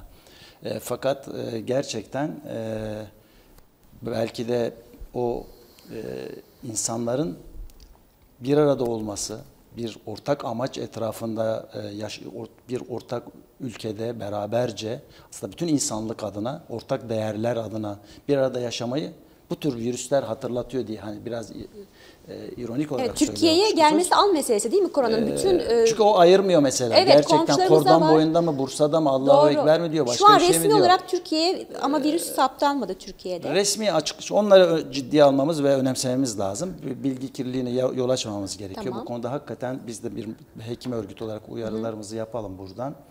E, Sağlık Bakanlığı'nın inisiyatifinde açıklama ve o şu an hiçbir e, vakaya tespit etmediğini iddia, e, belirtiyor, açıklıyor. E, buna güvenmek durumundayız. E, fakat onu da takip etmek. Güven sınırsız bir güven değil. Takip etmek, uyarmak, e, her konuda hem yardımcı olmak hem sorgulamakla yükümlüyüz. Biz sadece biz değil, medyası, hekim örgütü olarak Tayyipler Birliği ama medyası diğer bütün e, kurumlarıyla birlikte. Çünkü aynı demin mülteciler İdlib konusunda yaklaşımı burada da bence benimsemek gerekiyor. Yani e, ciddi bir sağlık sorunudur. Korona küresel bir şu anki bir salgın adı verilmese de Pandemi henüz- olarak evet, açıklandı değil mi Dünya Sağlık Örgütü tarafından? Yok. Üçüncü e, aşamaya geldi. Henüz henüz tam o aşamada değil. Ama çok ciddi bir sağlık sorunu olarak tanımlanmış durumda. E, ve bu tür durumlarda yine tek merkezi kararlar, işte rütük yasaklarıyla filan olmaz. Ya da sosyal Yani- medyaya erişim, E, erişimi erişim engelleyerek yasağıyla, olmaz. engeliyle olmaz. E, halkı paniğe sevk etmek hiç olmaz. Doğrudur. Bunun denetlenmesi gerekir. Fakat yasakla değil ya da tek elden, tek bir merkezin emir komutayla bilim çözülmez. Bu bilimsel bir durumdur. Halk sağlığı perspektifiyle yaklaşılmalıdır. Bakanlık el koymalıdır, doğrudur. Ama sorgulamaya, eleştiriye açık olmalıdır. Evet, İran'da çok hızlı yayıldı ve İran'da ölümler e, bu koronavirüsünün aslında normalde e, yaptığı ölümlerin birazcık daha e, fazla gibi görüyoruz. Bu mücadelenin az olduğundan mı Duayla bu işi çözümleyebileceklerini düşünenler var galiba İran'da. Biraz da ondan oluyor çünkü e, sonuçta karantinanın çok eski bir yöntem olduğunu söylemedi mi? Resmi ağızlar söyledi onu. E, Çin'de öyle değil. Çin çok ciddi bir şekilde önlemini aldı ama İran'da biraz daha Allah'a bıraktılar galiba bu işi. E, Şu anda e, alınan tedbirleri aşırı mı buluyorsunuz? Yoksa normal tedbirler mi? Yani Dünyadaki tedbirlerden bahsediyoruz. Dünya te- Türkiye'nin aldığı tedbirler, Sağlık Bakanı'nın yaptığı açıklamaları izledim ben. Ee, çok tatmin edici açıklamalar gibi göründü bana. Özellikle İran sınırının kapatılması, geçişlerin durdurulması filan. Yani kontrolün e, çok ciddi bir noktaya. Ne yapmakla? Bu bunlar aşırı mı? Bir panik yaratacak bir e, şey mi, tedbirler mi yoksa normal tedbirler Şimdi mi bu tür durumlarda mutlaka e, bir e, atak durumunda ted- hızlı ani tedbir almanız gerekir. Yani Türkiye'de henüz bir vaka tespit edilmemiş resmi kayıtlara göre E, ve e, bulaş yolu geçişi sağlamamak en iyi tedbirdir. Yani eğer bir ülkede bir e, etken varsa o bulaş yolunu engellemeniz ama bunu sürgit yapmanız mümkün değil. Yani Türkiye aylarca İran'la ya da İtalya ile uçuşları kesemez ama ilk başta doğrudur. E, Bunun kontrollü bir bakanlık inisiyatifiyle e, yavaş yavaş gevşetilmesi gerek, tedbirlerin alması, izlemlerin yapılması gerekir. Ama ben öncelikle madem lafı gelmişken defalarca birçok kanalda, birçok programda, birçok açıklamada yurttaşlar zaten duyarlı ama e, ya ortada ha, orta çağ veba salgını gibi bir şeyle karşı karşıya değiliz. Değiliz. Yani değenin öldüğü, birbirinden insanların korkacağı böyle bir panik atmosferine gerek yok. Ee, bir viral enfeksiyondur. Kuşkusuz henüz bir aşısı olmadığı için ve e, şu ana kadar olan olmayan bir suç olduğu için ve bu bazı insanlarda, bazı proteini taşıyan insanlarda, e, yaşlılarda, kronik hastalığı olanlarda biraz ağır seyreden, sert seyreden, eğer direnci düşükse, güçlü değilse e, ve hızlı tedavi almazsa, zayıfsa ölüme de yol açan bir tablodur. Ama bu zaten şu an herhangi bir grip e, virüsünün şu an yaygın her yıl bizim geçirdiğimiz bundan da onlarca, yüzlerce, binlerce insan ölüyor. Gene direnci düşük olan, kronik hastalığı olan, ağır tablosu olan. Bu nedenle dikkatli olmak lazım, ciddiye almak lazım. Paniğe kesinlikle kapılmamak lazım ama dediğiniz gibi hurafelere, bilim dışı, akıl dışı yaklaşımlara da e, net olarak karşı çıkmak lazım. Şimdi diğer zamanlarda biz hiçbir zaman kabullenmiyoruz. Tayyipler Birliği Evet. olarak eleştiriyoruz. Hatta e, soruşturma açıyoruz. Hekimse hatta cezalandırıyoruz. E, ama diğer zamanlarda bunu daha e, bu kadar katı, sert ifade etmiyoruz. Şimdi ben hani bu kana, bu vesileyle çok sert ve katı ifade edeceğim. Yani bu konuda koronavirüs başta olmak üzere insanların tedirgin olduğu konularda bilim dışı, akıl dışı, e, ister ticari bir kaygıyla, kişisel ticari kaygıyla, ister titri profesör, doçent, akademik titri olsun ister olmasın ya da dinsel e, yaklaşımın yarattığı hurafelerin, mistik dünya anlayışının yarattığı çözüm önerilerinin yaygınlaşması kadar tehlikeli bir şey olamaz. Buna alet olan, bu bilim dışı, akıl dışı e, şeye e, yaklaşıma alet olan ve korona başta olmak üzere bu tür ciddi sağlık sorunlarında toplumu oyalayan, hani bıraktım aldatmayı, oyalayan yaklaşımların ciddi bir etik ihlal olduğunu hatta suç olduğunu ifade etmek istiyorum. Bakanlığın da bu konuda ki e, bu tür yaklaşımlara müsamahalıdır genel olarak. Korona atmosferinde uyarıyoruz bakanlığı da bunlara müsamaha göstermesin. Yani e, diğer zamanlarda dediğim gibi biz gene uyarıyorduk, e, engellemeye çalışıyorduk ama korona için kelle paça yiyin, şunu yiyin, Evet. bunu yiyin gibi gayri ciddi yaklaşımlar olmaz. Evet. Yani bu insanların çaresizlik duygusunu bir medet umma hissini istismardır bu. Böyle yaklaşım olmaz. Hani yiyecekle çözülecek olsa e, sembusekle çözülür, kaytaz böreğiyle çözülür, Antakya'nın tepsi kebabıyla çözülür, Evet, künefesiyle çözülür Antakya'nın ama tepsi kebabı dediğiniz Lütfü Savaş'ın röportajı e, önemli on- burada. O- onu da verelim. Çok teşekkür ediyoruz. Koronavirüsü geldiği zaman sizi ilk burada görmek istiyoruz. Sözünü umarım alalım. gelmez. Gelmediği gelmediği bir ortamda da gene, gene ben geleyim. Lütfen gelin. Çok teşekkür ediyoruz. Ee, önemli e, de bugün konuştuklarımız ve devam edeceğiz. Gündem zaten çok yoğun Tabii ki. Ee, sevgili Tabii. dostlar.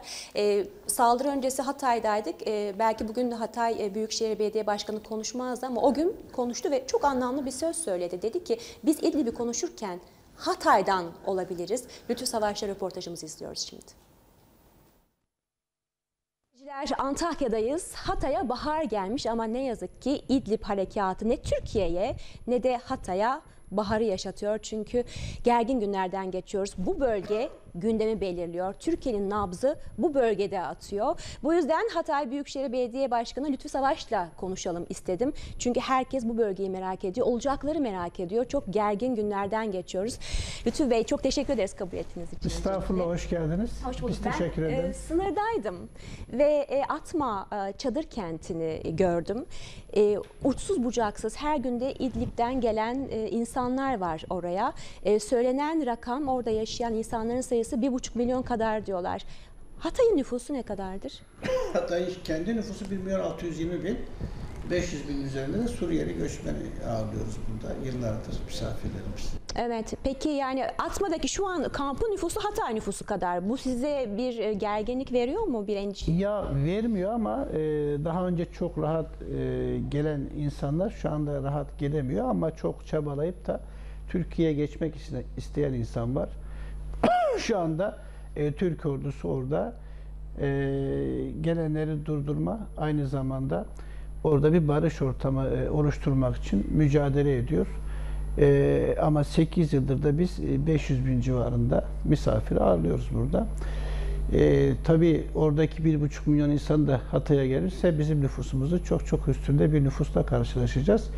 Bizim istihap haddimizi zaten şu anda aşmışız. Yani e, deyim yerindeyse e, bizim hem sosyolojik hem psikolojik hem de ekonomik anlamda bir tane daha misafir kabul etme şansımız yok. Yani diyorsunuz ki e, ciddi bir aslında ekonomik huzursuzluk da yaşıyor Hatay şu an. Hem Suriyeli nüfusu da bir tepki var çünkü işsizlik var, ekonomi kötü durumda, tarım nüfusu iş yapamıyor. Şimdi tabii şöyle ifade edeyim. Biz Suriyeliler geldiğinde bizim e, gelirimiz e, çok daha yüksek seviyedeydi. Şu anda 1500-2000 dolar kadar kişi başına gelir zafiyeti yaşamaktayız. Yani Suriyeliler gelmeden önce ve geldikten sonra şu aşamaya kadar 2000 dolar az bir şey değil. Çünkü e, teşvik bölgesindeyiz. E, biz beşinci teşvik bölgesinin de altında bir e, ekonomik değere sahip olmuş durumdayız. Yani biz beşinci teşvik bölgesini hak ediyoruz. Ama maalesef şu anda Türkiye'nin bunları konuşacak herhalde çok bir şey yok. E, üç kişi bir kişiye bakıyor. 8 yıldır, 8 yılı aşkındır. Her üç Hataylı bir tane Suriyeli'ye Suriyeli'ye bakıyor. Yani sizin evinizde üç kişiyi barındıracak, bakacak bir e, paranız var. Ama dördüncü bir kişiyi 8 yıldır misafir ediyorsunuz. Bu çok e, bizi gerçekten yordu. Ama tabii ki sizin o e, ifade ettiğiniz tedirginlik halkın içinde tabii ki var. Ama e, şu var ki e, son 6 aydır sanki biraz daha oraya ciddi bakılıyor Türkiye Cumhuriyeti Devleti tarafından ve oradan geçişleri azaltmak için de veya e, yok e, ortadan kaldırmak için de çok mücadele ettiğini görüyoruz. Ama sizin bir e, şöyle bir açıklamanız var. İdlib derken hakimiyeti kaybedebiliriz gibi. Ya şimdi tabii e, insanlar bu coğrafyada, coğrafyada yaşarken bir tarihini iyi irdelemesi gerekiyor ve geçmiş tarihi bilmesi lazım. Özellikle yakın ve orta derecede e, ki tarihinizi bileceksiniz ki bundan sonrası için projeksiyon yapacaksınız. Ona göre önlem alacaksınız. Şimdi biz e, Türkiye Cumhuriyeti yani Anadolu ile birlikte kurtuluş mücadelesine başlayan bir şehiriz. Ve Anadolu'da kurtuluş mücadelesi bitip Cumhuriyet kurulduktan 16 yıl sonra biz kurtulmuşuz. Yani e, Türkiye Cumhuriyeti tabi delikanlılık çağına geldiğinde biz kurtuluş mücadelesini bitirmişiz. Ve Gazi Mustafa Kemal Atatürk'ün üstün şahsiyetiyle, üstün destekleriyle e, bizim Tayfur Sökmen Cumhurbaşkanımızın da önderliğiyle burada biz kendi cumhuriyetimizi kurmuşuz. Ama 21 yıl dedelerimiz istiklal mücadelesi vermiş, kurtuluş mücadelesi vermiş. Deyim yerindeyse çetecilik yapmışlar. Ve biz kanla, e, gözyaşıyla almış olduğumuz bu coğrafyayı şimdi yanlış nüfus politikasıyla kaybetmek istemiyoruz. Hatay'da 490 bin oyla seçilmiş bir büyükşehir belediye başkanıyım ben. Ve burada herhangi, her, her ne kadar Cumhuriyet Halk Partisi'nin belediye başkanıysam biz bütün toplumu e, kucaklayan, herkese eşit ve adil bir şekilde hizmet götüren bir belediye başkanı olduğumuz için toplumun diğer e, partilere gönül vermiş insanlarından da çok fazlasıyla oy aldık. O nedenle insanlar bize güveniyor ve bizim sözümüze e, itibar gösteriyor ve seçip de itibar gösterdiği insanlar da bu şehre sahip çıksın istiyor. Yani onlar ne düşünüyorsa başkanları da onu düşünsün istiyor. Onlar neyi, neyi görüyorsa başkanları da onu görsün istiyor. Onlar neyi söylemek istiyorsa başkanları da onu söylesin istiyor. Halk hakikaten Hatay halkı e, çok yoruldu bu konuda ve 21 yıllık e, mücadele sonucu kanla gözyaşıyla almış olduğumuz bu coğrafyayı yanlış nüfus politikasıyla kaybetme kaygısı yaşıyorlar. Çünkü 1938'de biz bir plebisit yaşadık. Plebisitteki amaç şuydu, Hatay halkı kimi istiyor? Suriye'yi mi, Türkiye'de kalmayı mı? Biz e, Türkiye'yi tercih etmişiz. Ama siz e, şu anki Suriye politikası ve işte daha doğrusu Suriyelilerin evlenme ve doğurganlık sayısına baktığınız zaman e, çok hızlı bir e, üreme potansiyelleri var. Bundan 11-12 ay önce bir çadıra gittik. 4 metrekarelik bir çadır. Kadın 22, erkek 26 yaşında ve 6 yıldır buradalar 6 çocuk yapmışlar. E, Bazı çoklu evlilikler var. E, bü- Bütün bu doğumlar gerçekten de Türkiye'de oluyor ve bu çocukların üçte biri yaklaşık kalem tutmuyor. Okula gidemiyor ve bu çocuklar yarın esrar tutacak, eroin tutacak, hiç bulamadı silah tutacak. Artı nüfus politikası böyle giderse çok yakın bir tarihte nüfus olarak bizi geçecekler. Ne zaman geçirerler nüfus Yani olarak? eğer böyle giderse ve gelmiş, gelişler devam ederse 12 yıl gibi bir süre içerisinde bizim nüfusu yakalıyor bunlar. Ve şu anda muhtar seçebilen hatta Yayladağ ilçesinde e, Suriyeliler 3000 civarında oy kullandılar ve 2000'in altında bir rakamla iktidar partisi seçimi kazandı. Orada muhalefet partilerinden bir tanesi seçimi kazanıyordu ama Suriyeliler tabii ki şu anda iktidar güçlü olan kim? İktidar, iktidara oy veriyorlar. Ve e, böyle olunca da bundan sonraki süreç içerisindeki popülasyonları arttıkça ilçe belediye başkanları ve 12-15 yıl sonra da Büyükşehir Belediye Başkanlığı bile seçebilecek durumda Oy olacaklar. kullanma hakları var mı? Var tabii ve Türkçe bilsin bilmesin e, çok hızlı bir şekilde e, bunların Türkiye Cumhuriyeti tebaasına geçirildiler. Ve benim o konuşmam seçim öncesi bir konuşma yaptım. Bu tarzda konuşmalar, bilimsel tespitler sonucu ben bir soruşturma geçirdim. Evet onu biliyoruz. E, o soruşturma sürecinden itibaren bu yavaşladı. Ama e, şu bir gerçek ki hele hele şu sınırdakiler gelse 12 yılı beklemenize gerek yok. Direkt bizden fazla olacaklar. Bu coğrafya çok e, önemli bir enerji e, kavşağı. Ve e, gerek Katar olsun, gerek İsrail, gerek Doğu Akdeniz'deki karbon kaynaklarından elde eden doğalgaz, petrol e, ürünleri Taşınırken Akdeniz'den direkt Yunanistan'a taşınması çok zor. Çünkü 3000 metre derinliğe gitmesi gerekirler. Şu anda çok zor bir teknoloji kullanacaksınız. Çok para dökeceksiniz. O nedenle Hatay bir kavşak noktası, bir enerjinin dağıtım noktası. Anadolu ve e, o, Avrupa'ya gidiş yolunun tam e, başlangıç noktası. E, tabii şu anda Orta Doğu'da hesap yapan egemen güçler Hatay'ın da Türkiye gibi güçlü bir ülkede kalmasını istemezler. 1938'deki gibi bir plebisit e, durumu olduğunda nüfus, demografik e, yapı aleyhimize geliştiğinde ve biz burayı kaybedersek Suriye lehine Suriye kendi coğrafyasına sahip çıkamıyor zaten şu anda. Birçok ülke orada kendine göre bir politika güdüyor. Biz e, çok e, boşlukta kalacağız ve tutanın elinde kala- kalan bir şehir olacağız.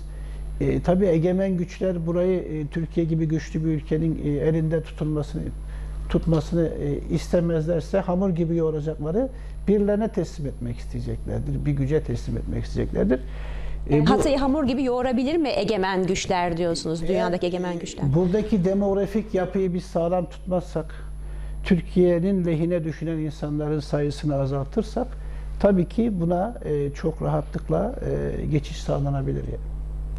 Bu nedenle biz geçmiş tarihimizi iyi bileceğiz ve gelecekle ilgili projeksiyon yaparken de ona göre adım atacağız. Şimdi geçmiş tarih derken ben e, Antakya'da birçok insanla konuştum. Onlar e, özellikle yaşlı nüfus hep gençleri şöyle uyarırlarmış. Aman dikkat savaş kapıda. Bu İran-Irak savaşı sırasında da bunu yapmışlar. Bu Suriye iç savaşı meselesinde hep böyle yaşların bir temkini ve bir korkuyla yaklaşımı e, varmış ve hep gençlere aman dikkat savaş kapıda.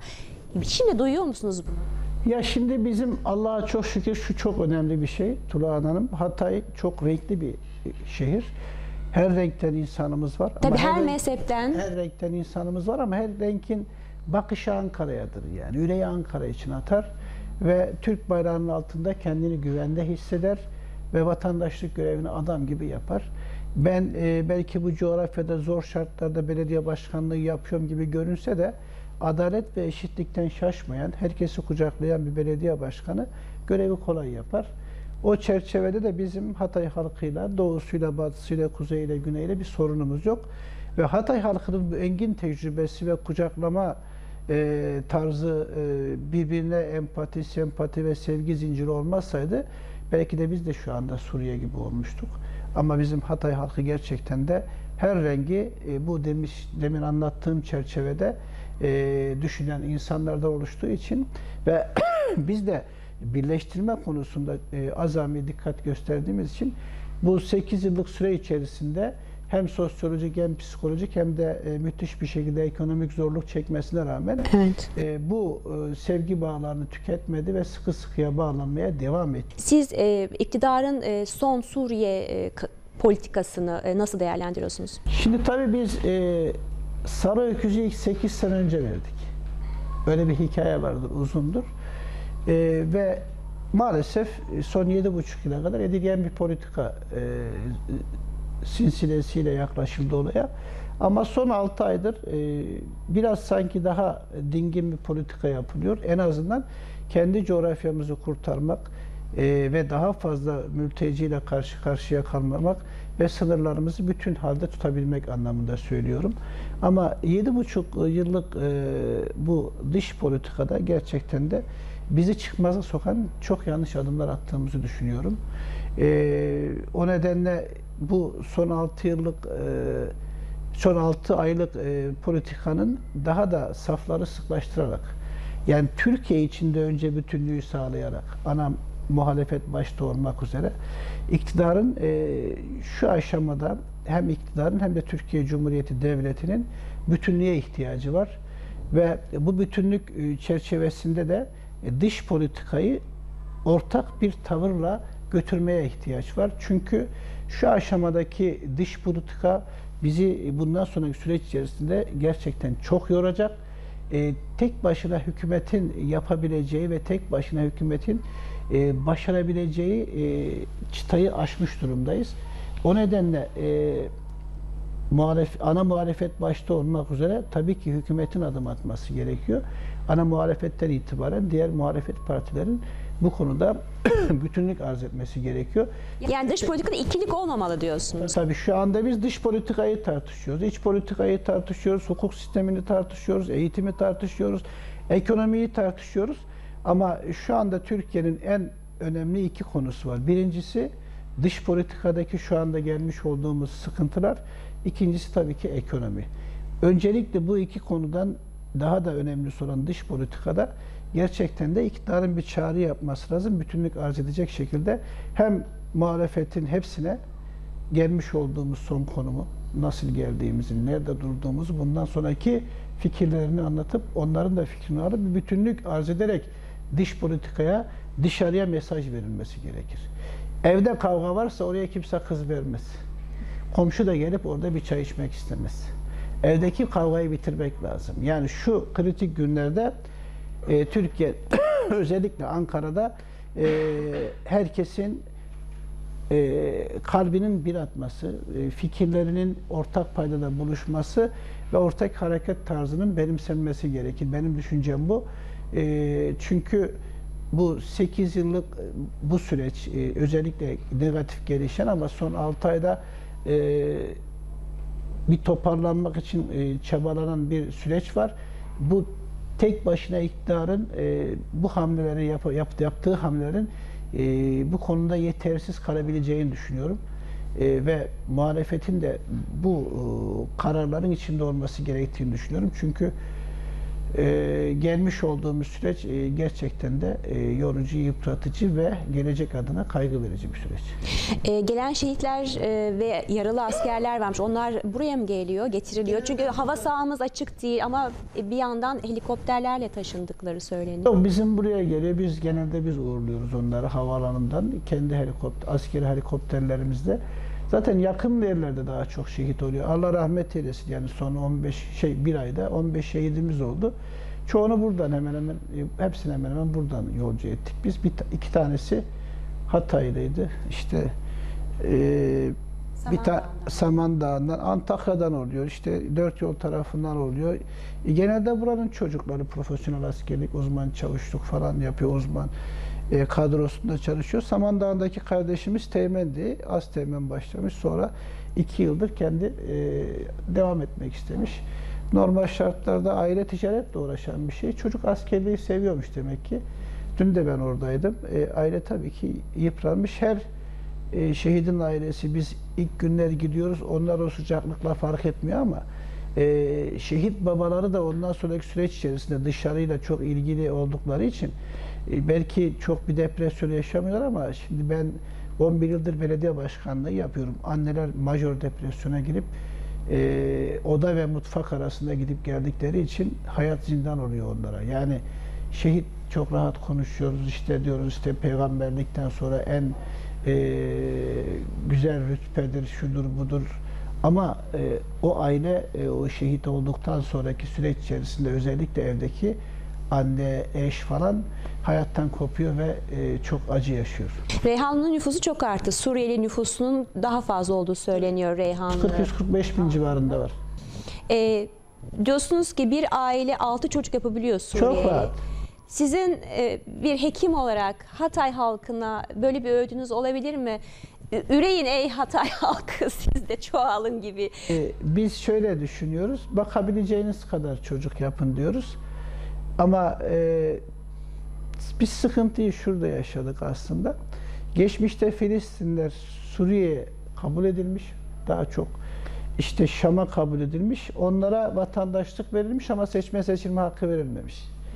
Biz rahmetli e, Bülent Ecevit zamanında barış harekatı yaptık 1974'te ve şu andaki Kıbrıs'taki soydaşlarımız e, Türkiye Cumhuriyeti Devleti'nin o zamanki yapmış olduğu operasyon sonucu huzur içerisinde yaşıyor.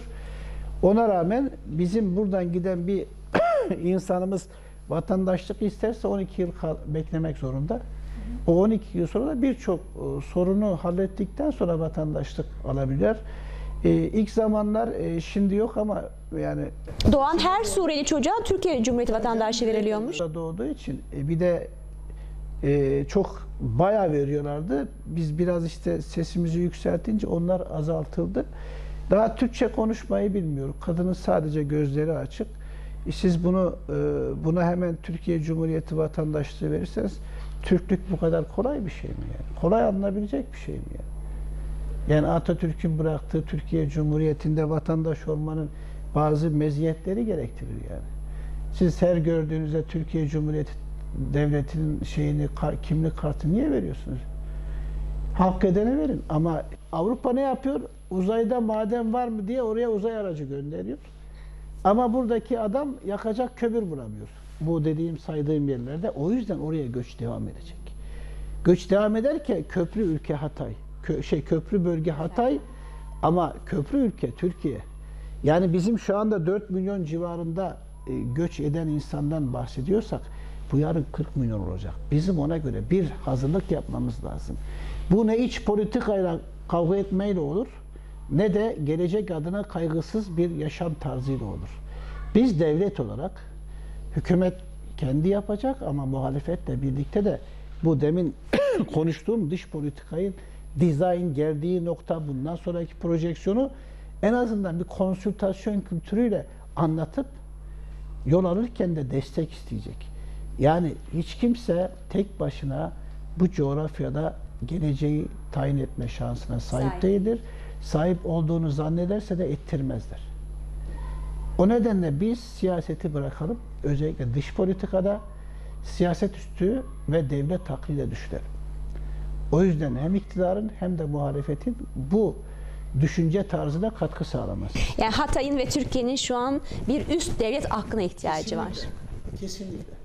Bunu yaparsak başarırız. Yani e, şu anda Yapılamazsa yapılamazsa bugünleri ararız. O kadarını söyleyeyim. Hatay Büyükşehir Belediye Başkanı Lütfü Savaş'a çok teşekkür ediyoruz. Sevgili dostlar, e, hayatın rengini bitirirken şunu bir kez daha dile getirelim. Asıl olan yaşamak ve yaşatmaktır. Asıl olan barıştır. E, biz umudu e, yeşertmek için yarın e, Yapabilirsin belgeseliyle İzmir Çiğli Belediyesi'nde olacağız. Çünkü kadınların da e, çok ciddi e, bir... E, yaşam mücadelesi veriyor kadınlar. Çok önemli e, bir haftaya yaklaşıyoruz Dünya Kadınlar Haftası'na. Yarın Çiğli'de olacağım saat 15'te hep birlikte yapabilirsin diyeceğiz.